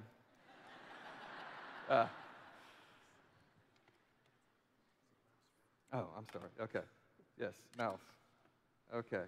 So actually, maybe we can uh, go back over here. Sorry, the machine is frozen or something. I can't seem to pan. It's not just the mouse. Okay. Whoa. All right. Okay, this is going to work. Look at that. Amazing mousing skills. Amazing mousing skills. Okay. All right, so uh, now I've got these assets from the, my design system, and I can actually just start using them. So it's really important to note, I'm not just using a copy of what's in that design system. I'm actually using the live assets that are linked to the real design system in the cloud. So if there are any changes, I can get notified here and update them right away. In fact, the team has been working off stage. It looks like uh, there have been some changes I can tell because of this little blue link here. And if I roll over it, I get a, a preview of how that's going to change. So I click on it, and that is going to update just like that. And I've got the latest and greatest from the design system. Uh, so you can see XD makes it really easy for me to share my work, my assets, my, my whole design system with my team.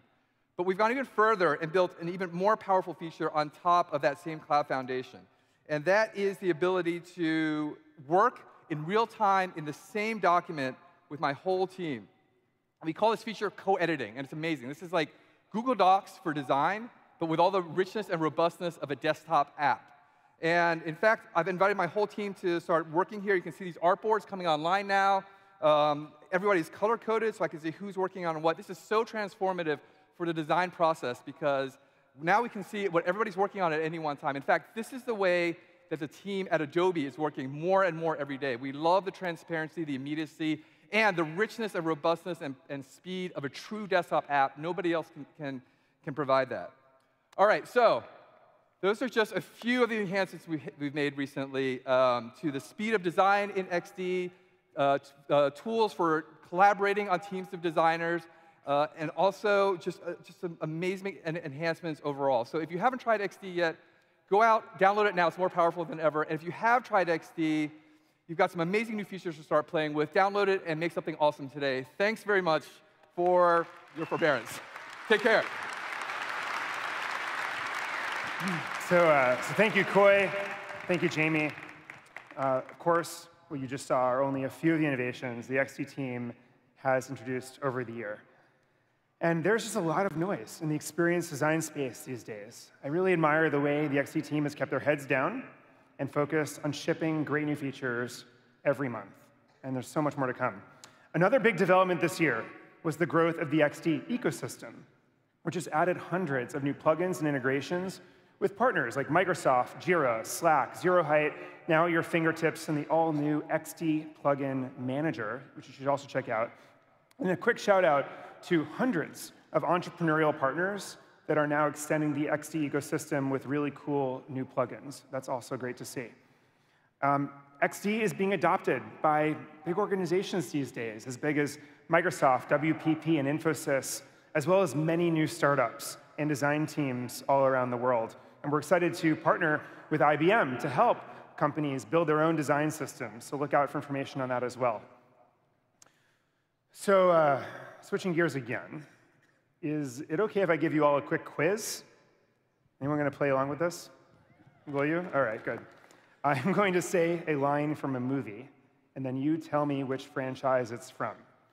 Ready? I need your clothes, your boots, and your motorcycle. There's some smart people out there. I'll give you another clue here. Come with me if you want to live more people. This has to get easier, of course, to get all of you on board. I'll be back. Even uh, without the Australian accent, you got Austrian accent, you got that one. These are all lines from the Terminator movies. I mean, these movies really are ingrained in our culture. Uh, and it was exciting for us at Adobe that the filmmakers behind the newest installment, Terminator Dark Fate, which just opened, decided to lean heavily on Adobe tools to make this movie. So Premiere Pro was their primary editing tool. They use Photoshop and Illustrator to create templates, and then After Effects, Mixamo, and the newest addition to Adobe, the Substance suite of 3D creation tools for the visual effects. But our video applications aren't just for those with blockbuster budgets. No matter what kind of project you're working on, Jason Levine is here to show you how Premiere Pro and Premiere Rush are going to save you time and help you make some pretty magical effects as well. Take it away, Jason. All right. You, Scott. Hello. All right, my friends. Well, the video team has been extremely hard at work over the last year, really optimizing the workflows that you rely on every day. So the four features that I'm going to share with you really speak to this idea of making you more productive, and I'm also going to share with you an incredible new way to deploy your content to any screen in any screen size in any aspect ratio with the help of a little Adobe Sensei magic. So I'm going to start here on the HP ZBook, and I'm inside of Premiere Pro with some footage from Terminator Dark Fate. We're going to talk about a feature called Freeform. And quite simply, Freeform puts all of your video front and center and allows you to organize and drag and storyboard any way that you like. You can pick up series of clips and drag them around. As you hover over them, you can see what's inside of those clips. You can set in and out points. If you have a hero shot, like this one of Arnold here, I can go ahead and make this extra large. I can take my clips and I can start organizing them diagonally, vertically, horizontally, however I want to organize, I can do it. I can even take a series of clips and move them off the freeform canvas because this is not a fixed view. In fact, when I scroll down, what you'll see is that this is in fact a continuous video artboard laying out all of your content organized and storyboarded however you like, by scene, by time of day, by color grading status, just however you like it. So once I've got everything ready to go, directly from Freeform now I can select my clips, I can simply build a new sequence right here, hit play, and just like that, my storyboards are now in the timeline and I'm telling my story. Freeform is storyboarding freedom! But what does that mean? I just made it up, I'm not entirely sure, but it's, I love it. Now, designers, you are all very, very familiar with masking. You heard Terry and Emily talking about masking earlier. Well, of course, in video, we mask as well. The only difference is that we mask over time, right? We mask multiple frames. In the case of a shot like this, this was captured on a Mavic Pro drone, 4K shot in Bali. Love this. We have these beautiful boats in the foreground, but the one right here has a logo that we don't want. We need to obscure that logo. So if I go into my effects controls, you can see that I created a mask here, and I'm simply, it's an opacity mask. I'm gonna turn this on, which will flip it black, and I'm going to hit track forward. Now the thing is, tracking in the previous version of Premiere for three seconds, 72 frames, would have taken about 40 to 60 seconds to process. But now, with the speed enhanced masking and tracking engine, it happens in a fraction of the time. Whether you're working in 4K, yes, 6K, yes, 8K, yes! Now, of course, some of this speed could be attributed to the HP ZBook. Hashtag sponsored. but regardless of whatever machine you're on, you will feel that speed performance difference.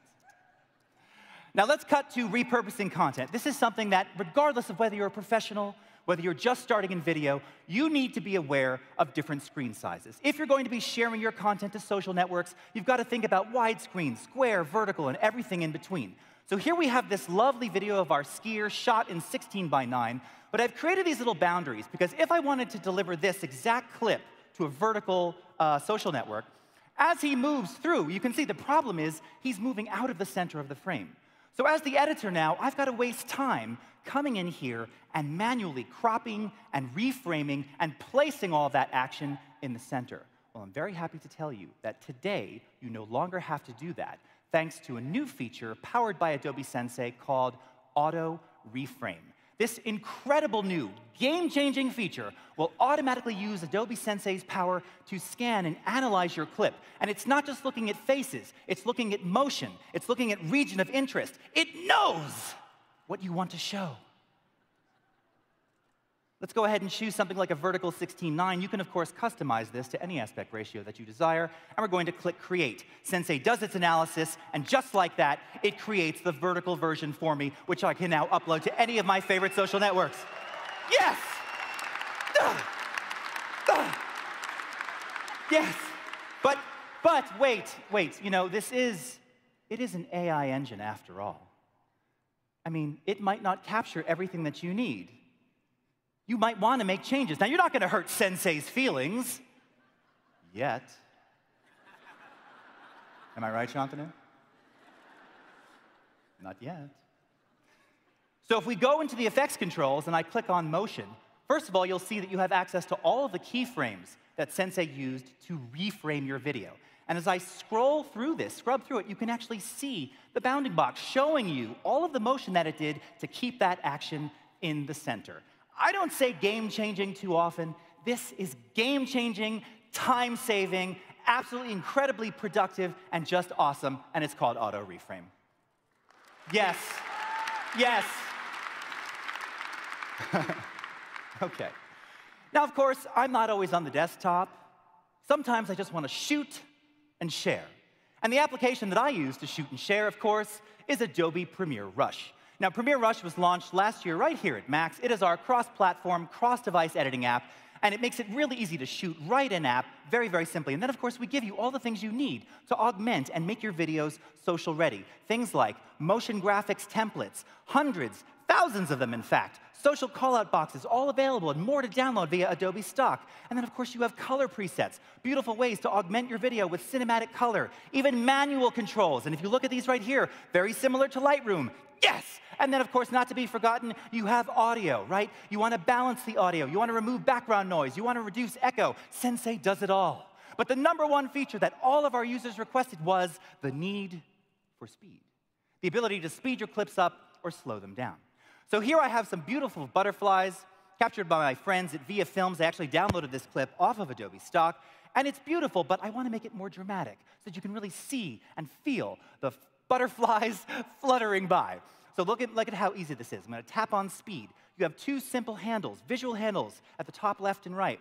You can drag those handles to tell it where you want the speed change to begin. In this case, let's do the entire clip, and we'll take it from 100% down to 20% speed, just like that. You even have the ability to add a ramp to gradually increase or decrease that speed change over time. Let's go ahead and tap away. Let's go ahead and shrink this down. Let's go ahead and wind it to the beginning and play. And just like that, now we have beautiful, slow, dramatic, dreamy, dare I say, lovely butterflies flying by.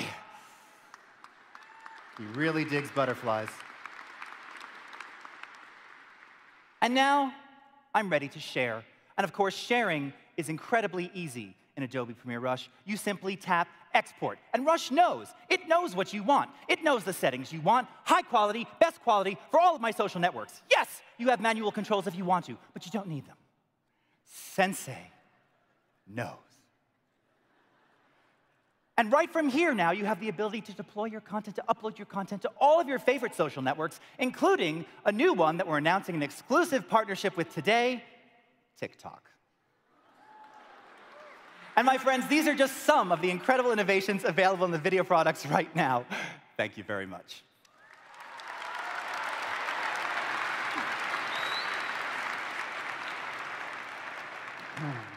I'll have what he's having. All right, thank you, Jason.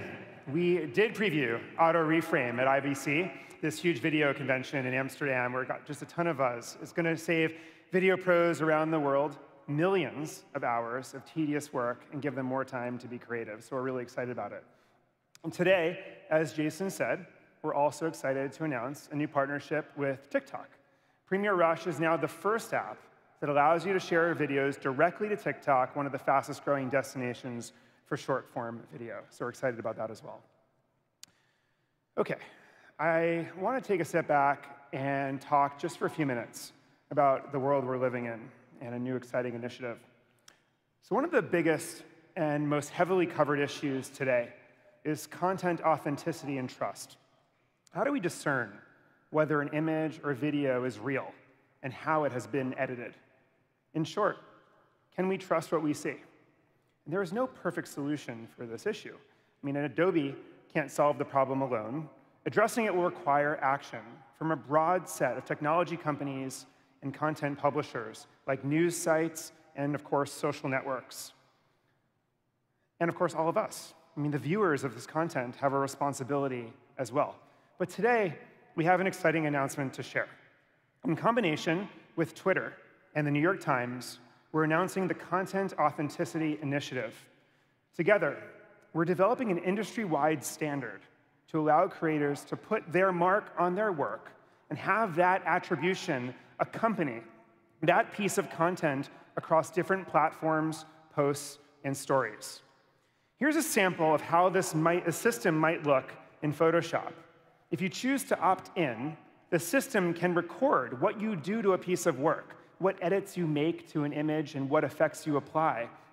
And then people who come across it on a website like Behance or another platform can easily view the information about who created it, you know, where the image or video came from, and how it was edited.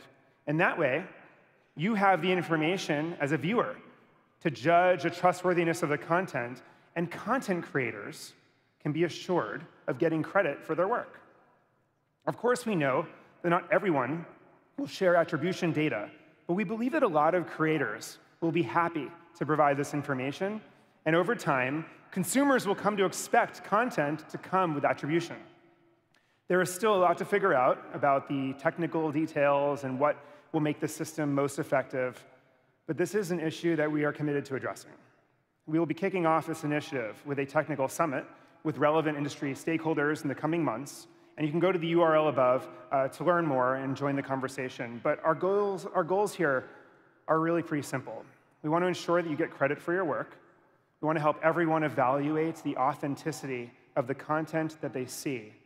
It will be a long journey, but we are getting started now. And I wanted to share that with you.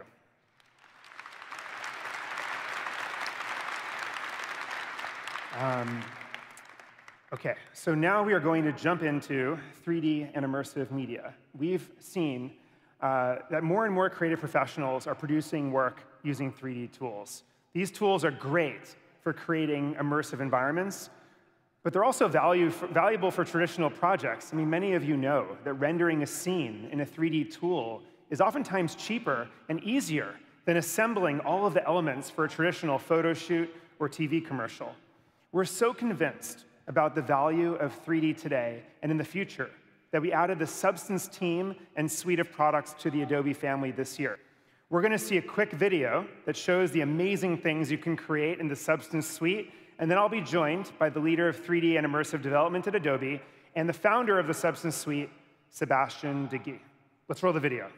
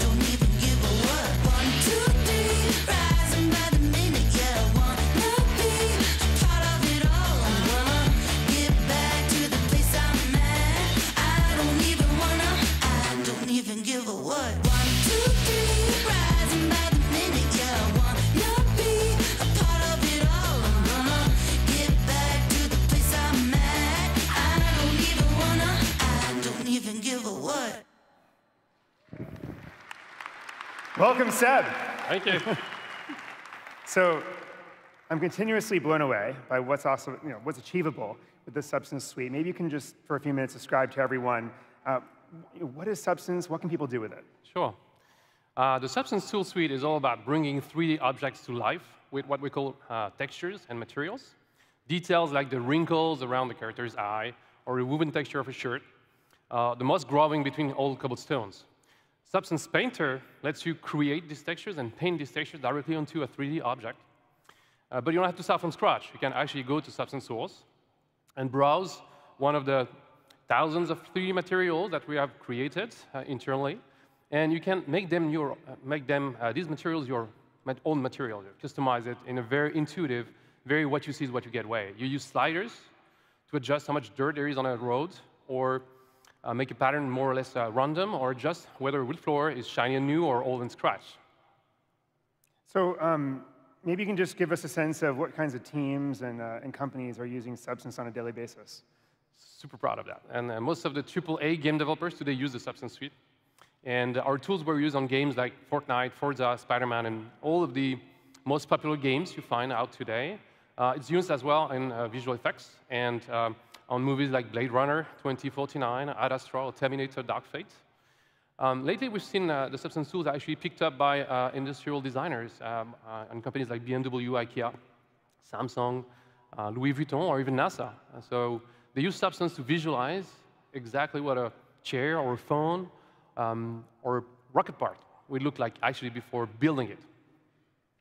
Uh, lately, also, we've seen architects uh, pick up the tool more and more. Uh, they can essentially build a house virtually and let their clients walk through it and uh, get the experience of living in it. So um, you're now the leader of the new 3D and immersive organization at Adobe. Maybe you could just share a little bit about what the team is focused on in this exciting new medium. Sure. Well, I, I really believe that we're in a golden age for 3D and immersive media, and we've solved some of the toughest technical issues. Um, what we need now is more great content. And uh, to get there, we need, I feel we need 3D tools to empower artists uh, to create these realistic 3D and immersive experiences. And this is exactly what we're doing with Substance, uh, but also with Aero, Dimension, and more to come. And this is why we're super excited to join Adobe, in fact. Um, uh, when you think about it, accessible and intuitive product design is in Adobe's DNA. Um, I feel that the very mission of that 3D immersive team at Adobe, the new team, um, is make 3D more accessible to many more artists. And that makes me and my team super excited, actually. Um, we believe the time is right for creative to jump into this new world of 3D immersive media. Well, we are really excited to have you, Sebastian. Thank you. Thank you. Welcome Thank to you again, team. Scott. Thank you.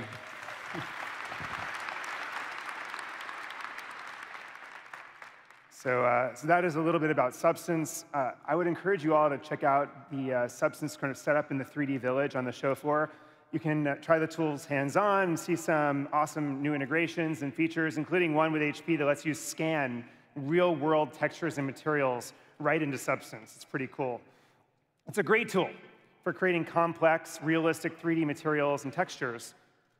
But then the next step is to bring those creations fully to life in an immersive, three-dimensional environment like augmented reality.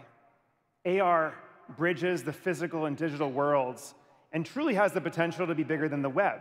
I mean, after all, we only experience the web when we go to it, but we'll experience AR all around us every single day. Imagine a future in which every sign on every street is personalized just for you, where you never get lost because way markers and turn directions pop up right in front of you wherever you go, or where you can find out just how many calories that croissant has just by pointing at it. Maybe not, but the prospects of living in an immersive world are, in fact, beyond imagination.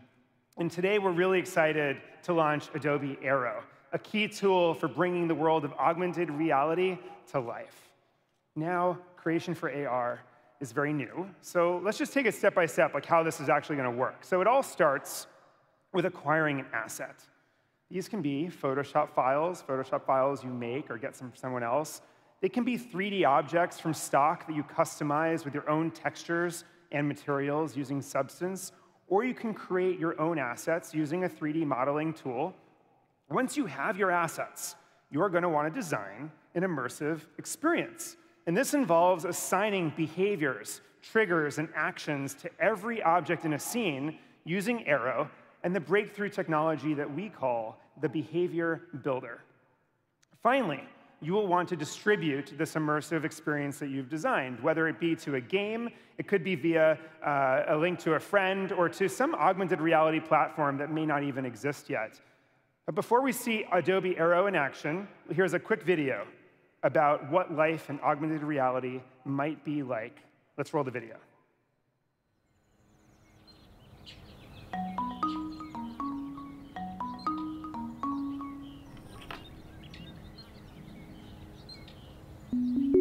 Play music. Okay. There's been an update to your calendar. Show calendar.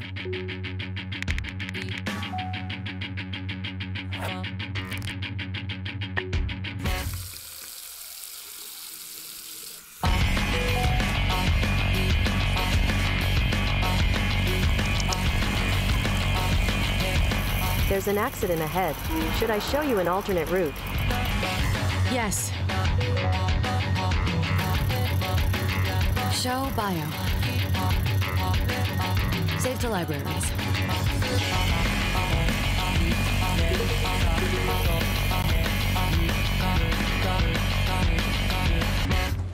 Oh, hey, Jordan. Hey, Rory. Yeah.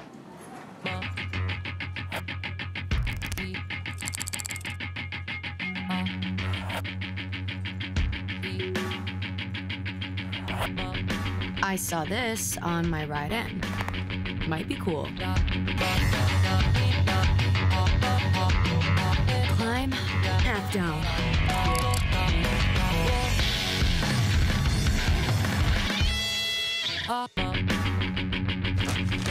It seems that you're making lasagna. Should I turn on the oven? Yes, preheat oven to 400.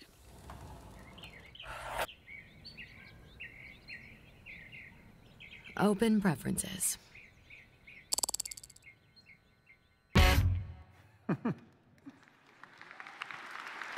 So uh, this just gives you a taste of the sort of immersive experiences that might change our everyday lives. Now I'm excited to welcome Chantel Benson, who will show you how to create AR experiences in the brand new Adobe Aero.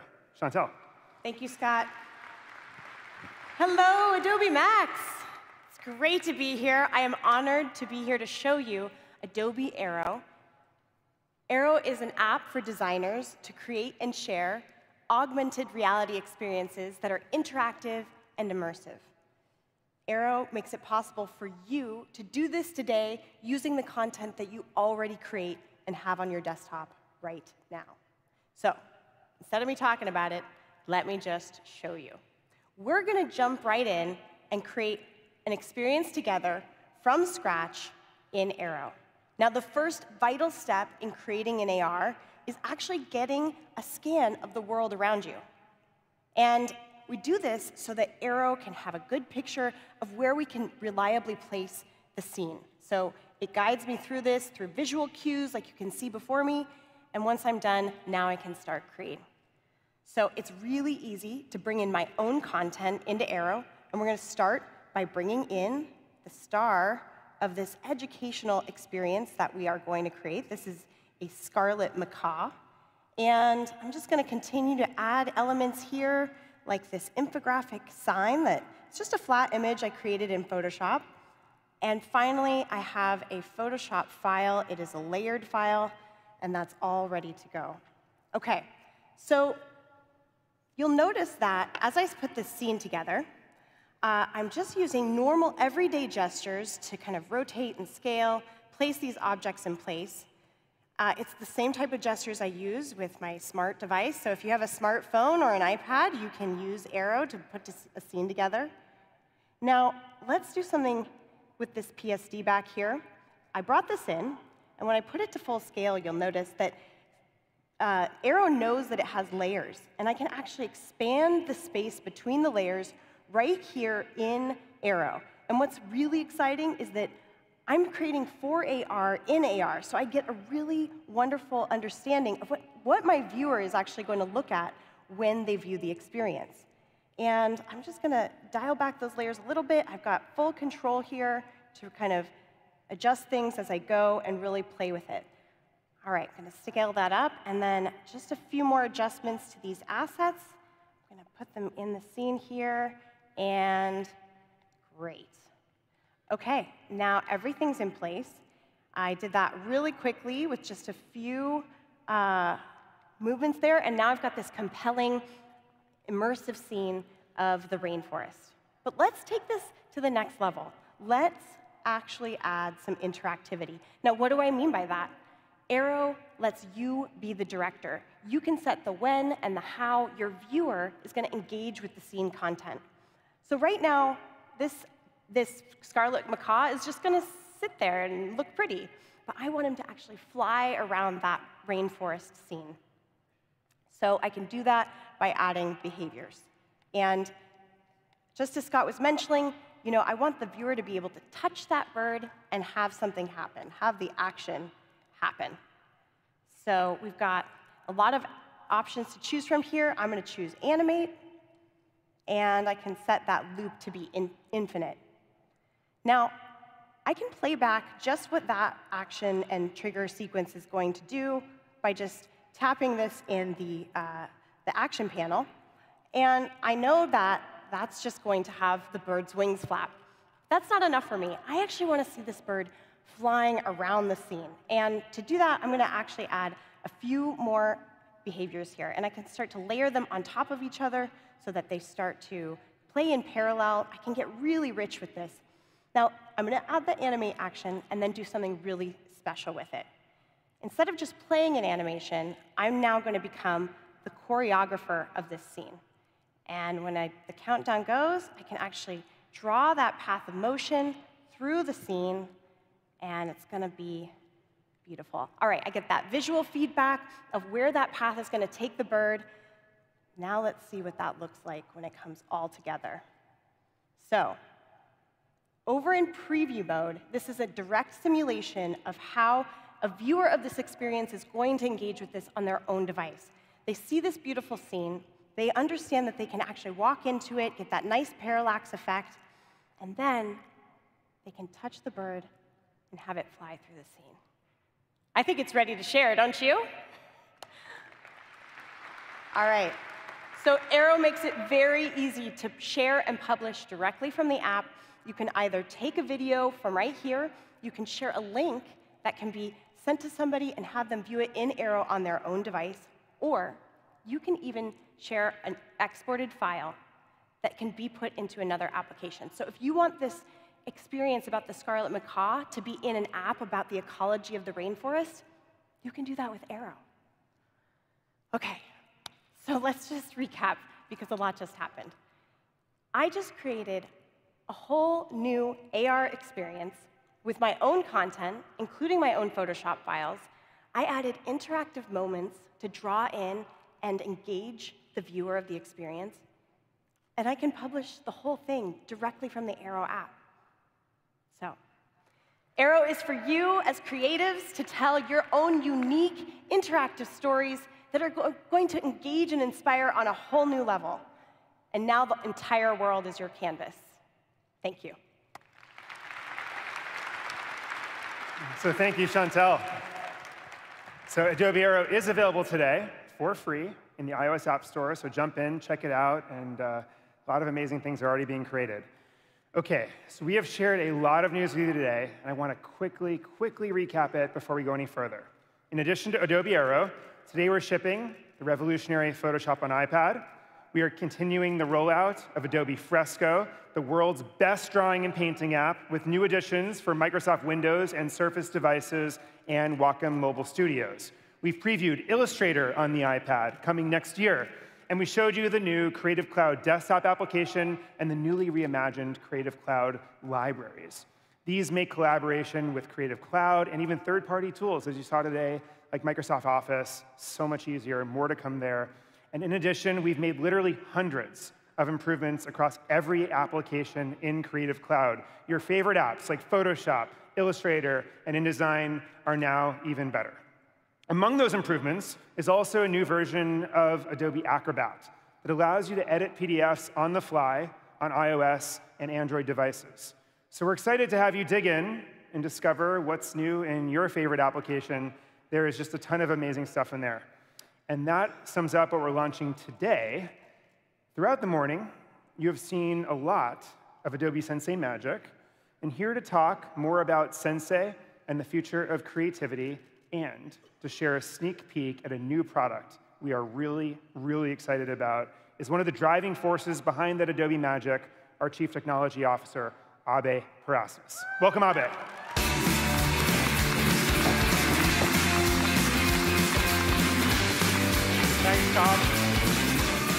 It's great to be in LA. What a show. I think Nicole and team are absolutely world class at putting this together. A round of applause for Nicole and Joe and team. So it's been a jam-packed morning, and I hope you're all excited about all the innovations we are bringing out to you today. But of course, we are not done yet. So let's talk about AI. You have seen hundreds of examples of our work with Adobe Sensei and how that's powering all the product innovations on stage today. It's foundational to everything we are doing. And when we started this journey with AI, we shared a deep belief that AI done right can, in fact, amplify human creativity, not replace it. We have been really hard at work executing on this vision with Adobe Sensei. Now, Sensei started with a focus on delivering AI powered magic across all the tools that each of you use every day. But at the same time, we were also building a truly breakthrough Sensei platform, one that has become a true foundation of innovation for a lot of what we are delivering today and what will be coming tomorrow. And today, we are at an exciting point where the Sensei platform is evolving with a very deep focus on creative intelligence domains. Domains like imaging, design, video, documents, and immersive media. And this deep specialization on the creative process and the creative fabric is what makes Sensei extremely unique in the industry. With this platform in place, we are ready to push the limits even further. So let's start with imaging. Without a doubt, this is one of our most advanced AI domains with decades of experience with products like Photoshop and Lightroom. Whether it's content-aware fill, face-aware liquify, many, many masking and advanced selection tools that you saw today are all increasingly powered by imaging AI.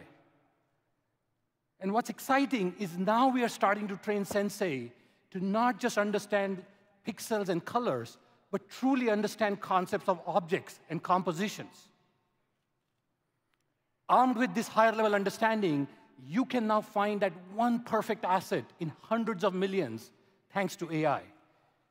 And as you can see here, we are taking visual search to an entirely new level with a creative canvas that not only allows you to search for similar content, similar colors, but it's actually starting to understand objects and concepts and relationships. And we are extending these advanced search and object level concepts to all our core editing tools, whether it's Sensei powered search in Lightroom or the object selection tools you saw this morning in Photoshop.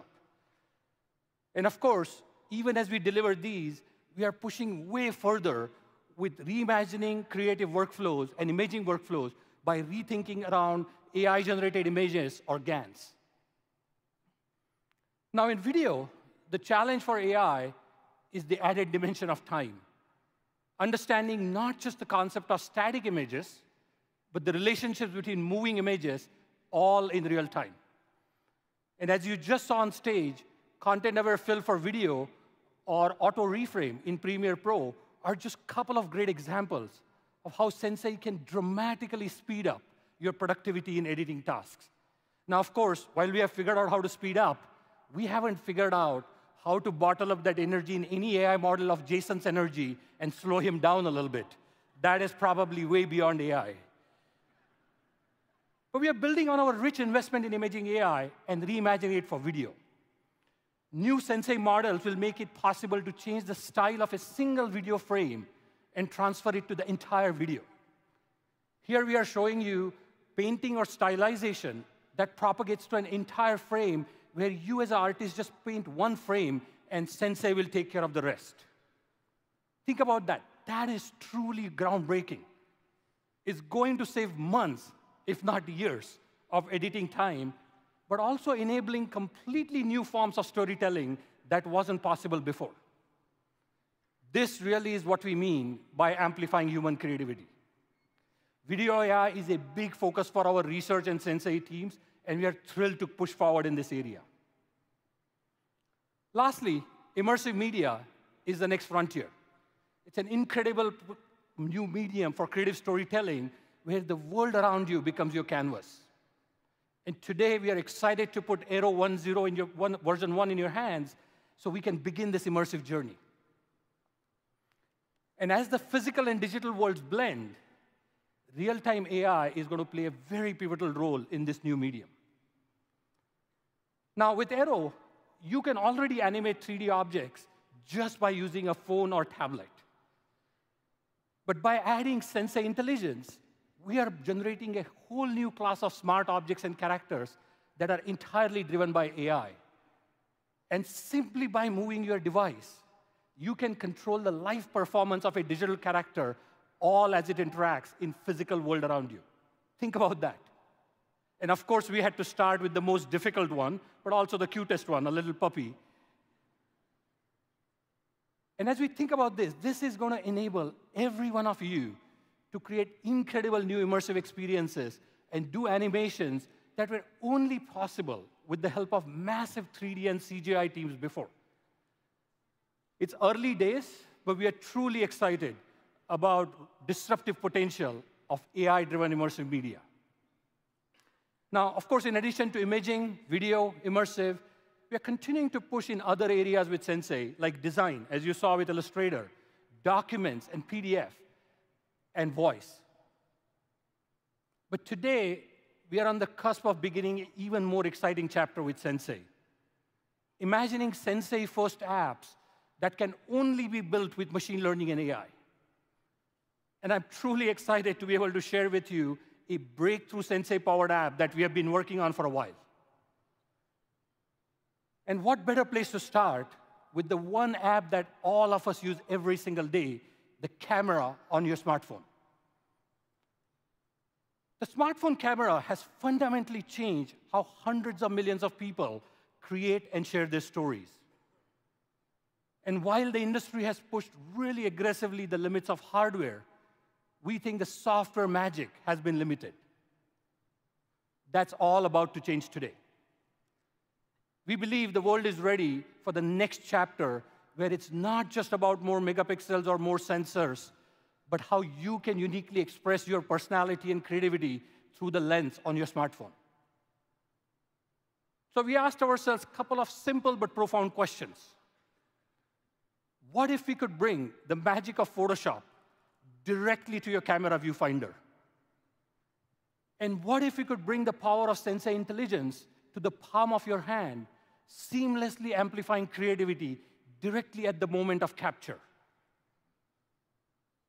Well, that's exactly what we've done. I'm super excited to announce Photoshop Camera, a Sensei-powered app that reimagines what's possible with smartphone photography. As you know, a lot of hard engineering work went into bringing Photoshop to the iPad. But of course, we didn't stop there. We went way further and decided to bring the power of Photoshop directly to the camera lens on your phone.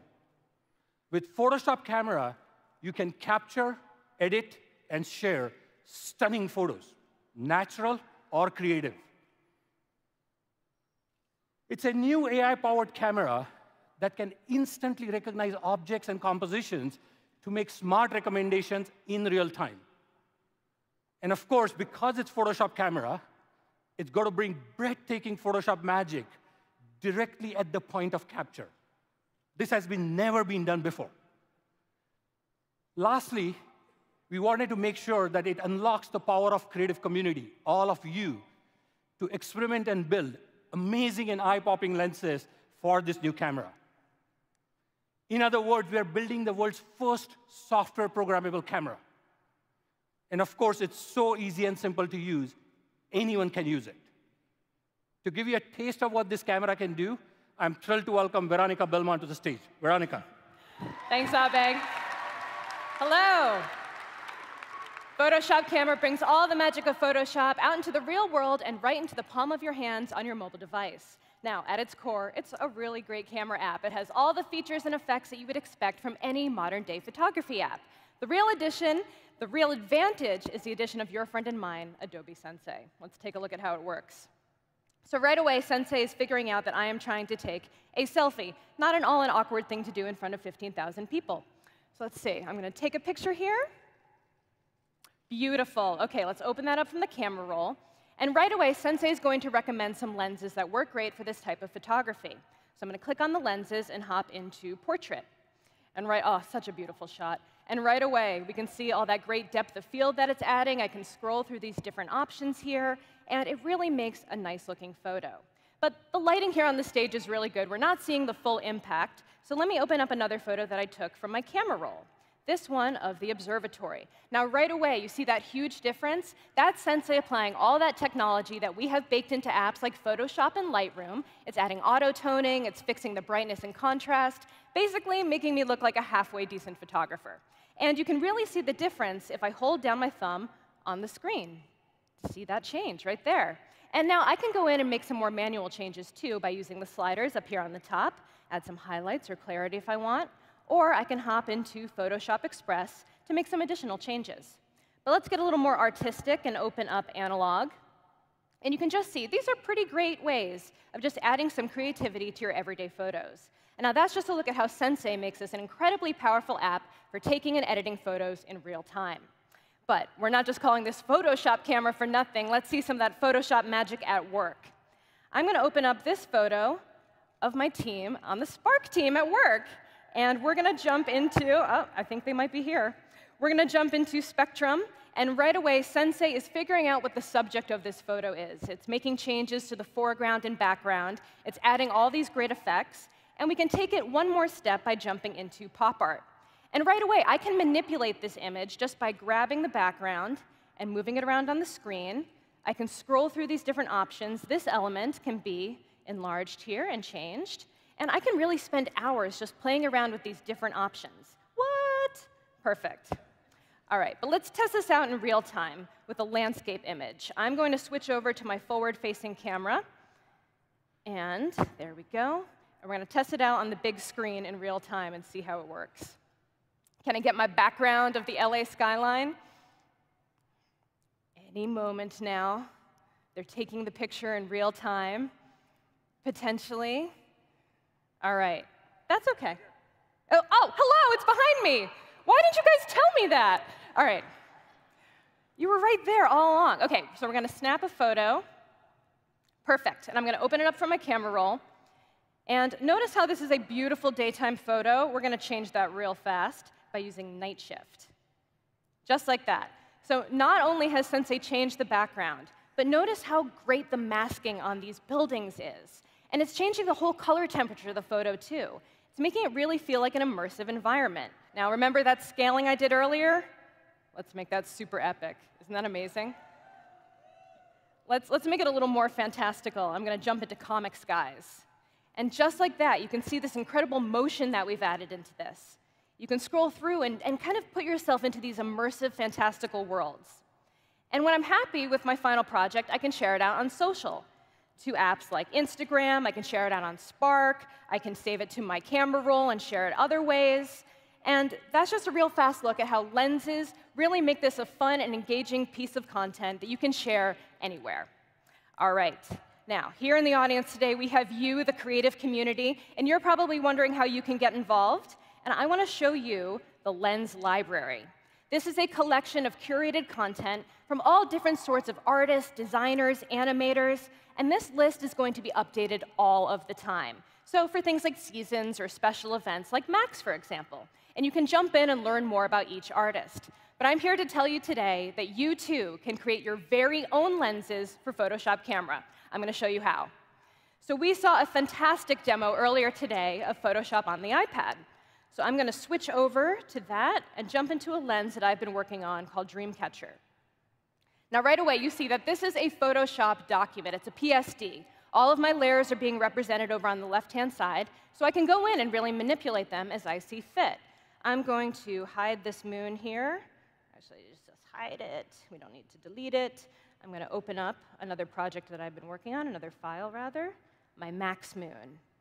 And just like that, I've made some quick and easy changes, not too crazy. I'm going to save that out and head back over to my phone and we're going to test out that lens in real time. So I'm just going to open it from my files here. PS camera lenses. There's my product. Okay. And we're going to go back to LA, which will probably show up behind me once again. There we go. And just like that, in real time, my lens working. And not only did I just open this up, but also it's treating this moon like an actual light source. How awesome is that? I'm just to take a snapshot there. Yeah, right? Now, just to recap, With Sensei, we've made this inc- an incredibly powerful app that does all the heavy lifting for you. Lenses using Photoshop Magic are fun, beautiful, and really easy to use. And the community of creators out there can create their very own lenses so we can see the world through your eyes. Thank you so much.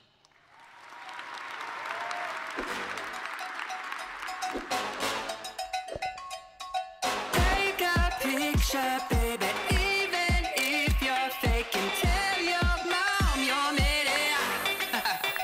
You gotta get up.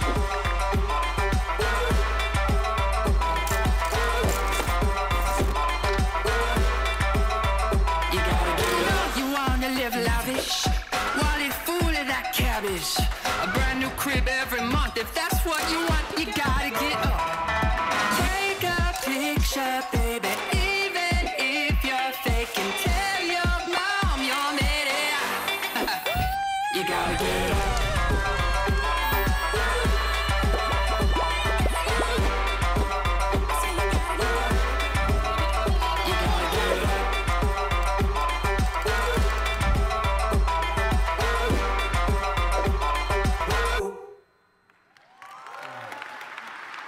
Thanks, Veronica. Great demo. And that's a pretty cool video. Anne and team, as always, did a perfect job capturing the perfect vibe for this new app. As someone who's passionate about photography, it's been really fun for me to see creations from some of our early adopters. As you see these, it's clear that capture is truly the new creative. Now, we have also started to work with some artists and influencers to see how they can uniquely express themselves through this camera. One such artist is Billie Eilish, who we have collaborated with to create some limited edition lenses inspired by her music. And the best thing is she'll be on stage tomorrow talking to Anne. Now, we want to begin this journey with Photoshop Camera with all of you. So starting today, you can go to photoshopcamera.com to sign up for a limited preview of this app, but also sign up to submit your ideas for creating new lenses. The general availability will be in early 2020. At Adobe, we absolutely thrive in being at the intersection of deep science and the art of storytelling. And Photoshop Camera is a major moment for all of us as we, in our journey to truly democratize creativity for all. It's time to give smartphone camera some personality, and we are looking forward to all the amazing moments you capture with this app as you get your hands on it. Thanks, and have a great Max. Back to you, Scott.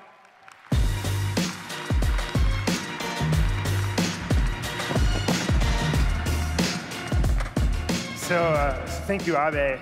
We are, we are so excited about Photoshop camera. In fact, we're playing with it backstage. But it's going to be a great addition to the Photoshop, to Photoshop Express and part of our continuing efforts to put some of the power of Photoshop in everyone's hands.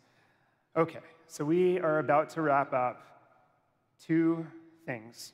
Number one, I just want to say a thank you to the teams behind these products. I mean, these are some of the most passionate people who come to work every day and are often up at night just thinking about what you do and how to make it better. They have such passion and commitment to the segments. And just take a, take a quick step up. Members of the Adobe team in the house, just take a quick step up, and I just want to thank you for all the work you're doing to make this possible.